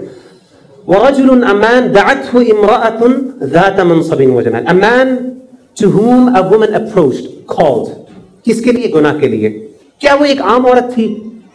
یعنی ایک عام سی عورت نے کہا کہ میں تمہیں گناہ کے لیے نہیں. ذات منصب و جمال وہ عورت نہ صرف ذات منصب، بہت ہائی ایلیٹ فیملی کی تھی، بہت اچھی فیملی کی. جس کا یعنی معاشرے میں بڑا سٹیرس وہ جمالین نہ صرف اچھی فیملی کی تھی، اب ہو سکتا ہے اچھی فیملی کی شکل یہ خوبصورت نہ ہو، اتنی اٹریکٹو نہ ہو۔ وہ جمالین خوبصورت بھی بہت ہو۔ اچھی فیملی اور انتہائی خوبصورت۔ اور یاد رکھیں کہ اچھی فیملی کیوں ہے؟ اچھی فیملی کی وجہ ایک یاد میری ذہن میں ہے اللہ عالم، جس بندہ جو بندہ اچھی فیملی سے ہوتا ہے، اس کی انداز میں، اس کی گفتگو میں، اس کی پرسنالٹی میں نفاست ہوتی ہے سوفسٹیکیشن ہوتی ہے۔ وہ نفاست بڑی اپیل کرتی ہے ہر بندے کو۔ اسی طرح مرد کی بھی بات ہے۔ یعنی اس کی ایک آنر ہوتا ہے، بڑا آنریبل فگر ہوتا ہے۔ تو اس کے اندر ایک اپنی ایک وجاہت ہوتی ہے۔ بہرحال، کہنے کا مطلب یہ کہ بڑی اچھی فیملی کی ہو، اس کو ایک عورت اپروچ کرے اور وہ کہے کہ انی اخاف اللہ، میں اللہ سے ڈرتا ہوں۔ یعنی وہ اس سے ریفرین کر جائے رک جائے۔ اب یہاں پہ اللہ تعالیٰ نے غور طلب بات ہے یہ نہیں کہا کہ ایک عورت کو ایک خوبصورت مرد بڑی اچھی فیملی کا اپروچ کرے، ویسے تو فتنہ تو وہ بھی ہے۔ لیکن جو عورت کا مرد کے لیے فتنہ ہے یعنی آپ کمپیئر نہیں کر سکتے جب عورت کسی مرد کو اپروچ کرے تو یہ، کیونکہ عورت کے اندر اللہ نے نیچرلی ایک حیا رکھی ہے فطری، جو مرد سے بہت زیادہ ہے، وہ حیا اس کو اس تک لائن کو کراس نہیں کرنے دیتی۔ ایون بیوی ہو، بیوی کے اندر بھی۔ میں تو شادی شدہ نہیں ہوں جو ہے، یہاں پہ شادی شدہ زیادہ بہتر بتا سکتے ہیں۔ کہ وہ دے ڈو ناٹ یعنی بیوی جو ہوتی ہے اس کے اندر حیا ہوتی ہے۔ جتنا مرضی ہے آپ کے ساتھ اس کا تعلق اسٹرانگ ہو، اس کا ہمیشہ ایک حیا، اس کے اندر ایک شرم، یہ اس کی عورت کے اللہ نے پرسنالٹی کی خوبصورتی رکھی۔ تو وہ کبھی اپروچ نہیں۔ تو جب عورت بھی اس معاملے کو کر دے، اس لائن کو کراس کر لے یعنی مرد اس کو اتنا اپیل کرے، تو پھر وہ جو بندہ اس وقت اللہ سے ڈر جائے، تو this is something which is far more means and great یہ جو پرسنالٹی اتنی اسٹرانگ اتنی زبردست پرسنالٹی کے بہت کم لوگ ہیں۔ مثال ٹائم نہیں ہے میں انشاءاللہ اس پر۔ ہم بات کریں گے دوبارہ تفصیل سے۔ دوبارہ کہنے کا مطلب یہ ہے کہ یہ خاص طور پہ اس پہ بہت سی احادیث ہیں، اس کے اس کے کیا فوائد ہیں اور کس طریقے سے روکا جا سکتا ہے اس پہ ان شاء اللہ بات کریں گے۔ آگے the sixth one the man who gives صدقہ۔ The Prophet صلی اللہ علیہ وسلم said وَرَجُلٌ يَتَصَدَّقُ بِصَدَقَةٍ فَأَخْفَاهَا. اور ایسا شخص، a man who gives صدقہ، in the way of Allah فَأَخْفَاهَا، اس کو چھپاتا ہے۔ حتی لا يعلم شماله ما ينفق يمون اتنا چھپاتا ہے کہ اس کے بائیں ہاتھ کو نہیں پتا چلتا کہ اس کے دائیں ہاتھ کیا سپینڈ کر رہا ہے. یعنی کیا مطلب ہے؟ He conceals it.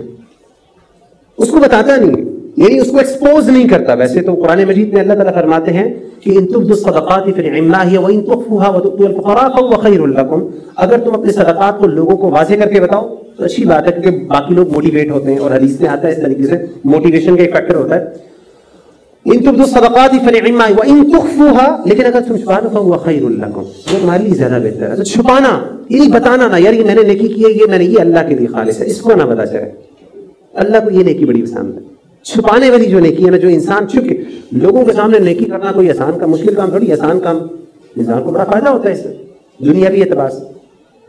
چھپ کے اپنی نیکی کو بچانا، یار اس نیکی کو کچھ نہ ہو دس از ور اللہ سبحانہ و تعالیٰ تو صدقہ دینا صرف اللہ کے لیے اور چھپ کے، اتنا چھپا کے کسی کو بتانا چاہیے کس نے؟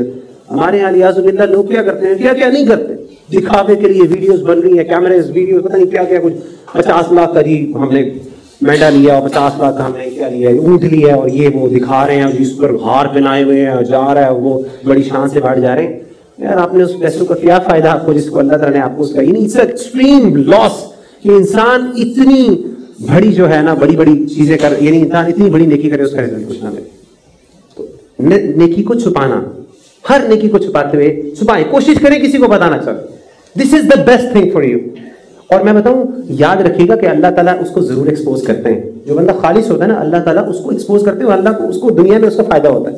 بڑے لوگ ہیں جو اپنی نیکی کو چھپاتے ہیں، لیکن اللہ تعالیٰ اس کو بیان کر دیتے ہیں، اس بندے کو ریوارڈ کرنے کے لیے دنیا میں بھی۔ آپ کو بتانے کی ضرورت نہیں ہے۔ آپ بتائیں گے، اللہ عزت دے، نہ دے، اللہ کی مرضی ہے۔ لیکن اگر آپ چھپائیں گے تو اللہ آپ کو ضرور عزت دیں گے اس کی وجہ سے۔ یاد رکھیے گا۔ تو چھپانا نیکی کو بڑی اہم بات اور لاسٹ چیز ہے، اللہ کے رسول صلی اللہ علیہ وسلم ورجل ذکر اللہ خالیا ففاضت عیناہ ورجل ایک ایسا شخص، the man ذکر اللہ خالیا جس نے اللہ تعالیٰ کو یاد کیا اکیلے میں۔ ان آئسولیشن سیکرٹ میں اکیلا بیٹھا تھا، اندھیرے میں رات کو بیڈ پہ لیٹا تھا، اچانک اللہ کا خیال آ گیا۔ یا پھر رات کو اٹھا اور تہجد کے لیے اٹھا، اللہ کے سامنے کھڑا ہوا تو ففاضت عیناہ اس کی آنکھوں سے آنسو نکل آئے۔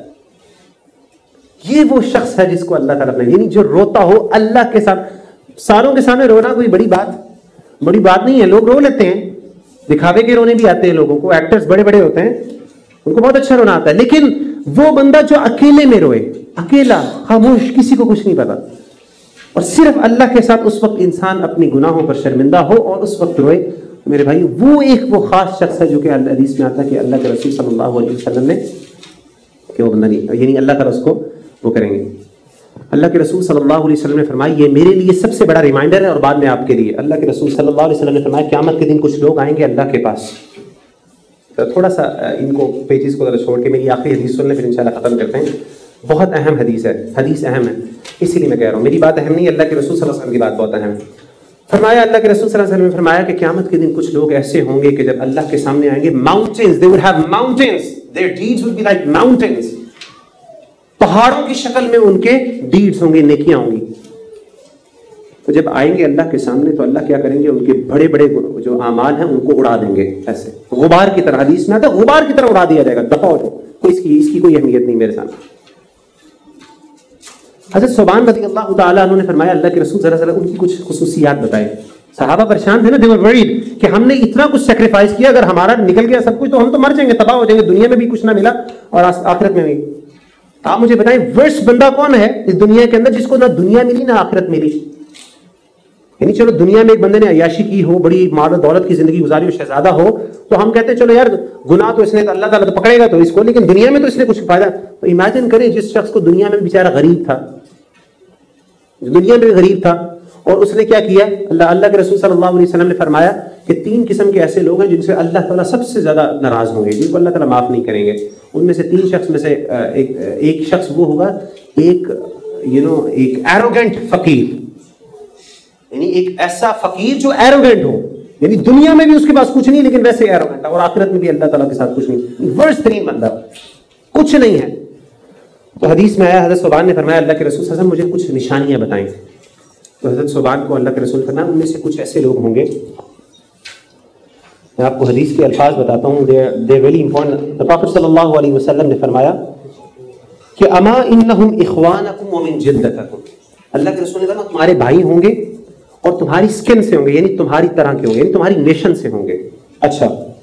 وَيَأْخُذُونَ مِنَ اللَّيْلِ كَمَا تَأْخُذُونَ۔ اور رات کو جس طرح تم اٹھتے ہو اور اللہ کی رات میں قیام کرتے ہو، وہ بھی کرتے ہیں وہ بھی اللہ کی راہ میں نیکی نمازیں پڑھتے تھے، سب کچھ کرتے تھے۔ لیکن فرق کیا تھا؟ وَلَكِنَّهُمْ أَقْوَامٌ إِذَا خَلَوْا بِمَحَارِبِ اللَّهِ انتَكَهُوهَا کہ جب وہ اکیلے ہوتے تھے رات کو، جب خیال اکیلے میں آتے تھے، تو کیا ہوتا تھا کہ اللہ کے محارم کو یعنی دنیا میں لوگوں کو بتاتے تھے دوسروں کو، روکتے تھے۔ لیکن جب رات اکیلے ہوتے کمرہ بند ہو جاتا تو پھر وہ اللہ کی نافرمانیاں کرتے تھے۔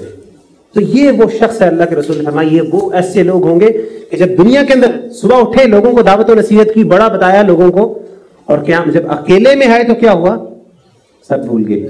چھپ کے کیا کی رات کو؟ کہ ان کے جو اعمال ہوں گے قیامت کے دن اللہ غبار کی طرح اڑا دے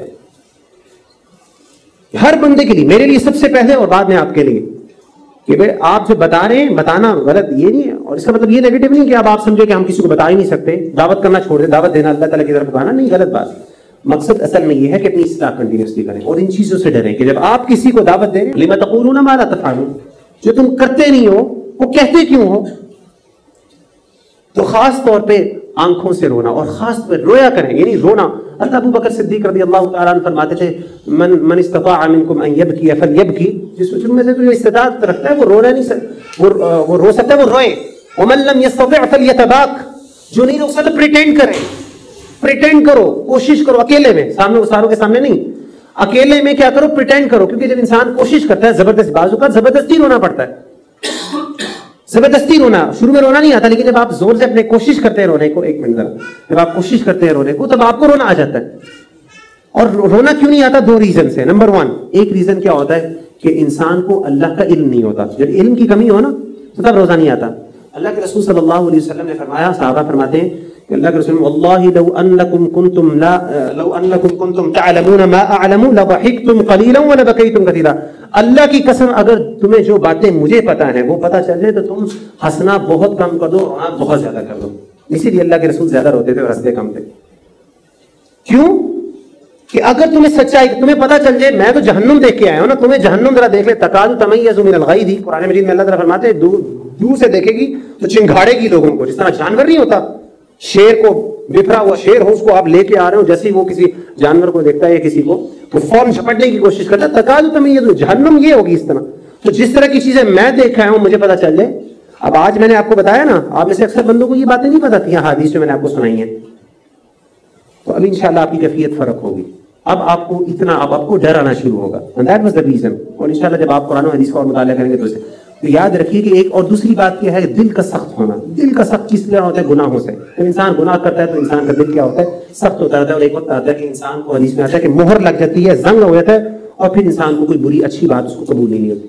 یہ ہے بار یہ ایک پورا ایک الگ ٹاپک ہے۔ تو ہادہ ما عندی واللہ تعالی علیہ الصواب سب سے پہلے انشاءاللہ دعا کریں گے۔ اللہ تعالی ہم سب کو گناہوں سے معاف کرے اور جو ہم نے باتیں کی ہیں اس کو سب سے پہلے سمجھنے کی۔ پھر اس پر عمل کی توفیق بتائیں اور خاص طور پہ، خاص طور پہ اللہ تعالی ہمیں ان سات میں سے کسی بھی کیٹیگری میں ہمیں ایکسپٹ کر لے۔ آدھا ما عندی واللہ تعالی بالصواب جزاکم اللہ خیر۔ وارحمهما كما ربياني صغيرا۔ ربنا اغفر وارحمهما كما ربياني صغير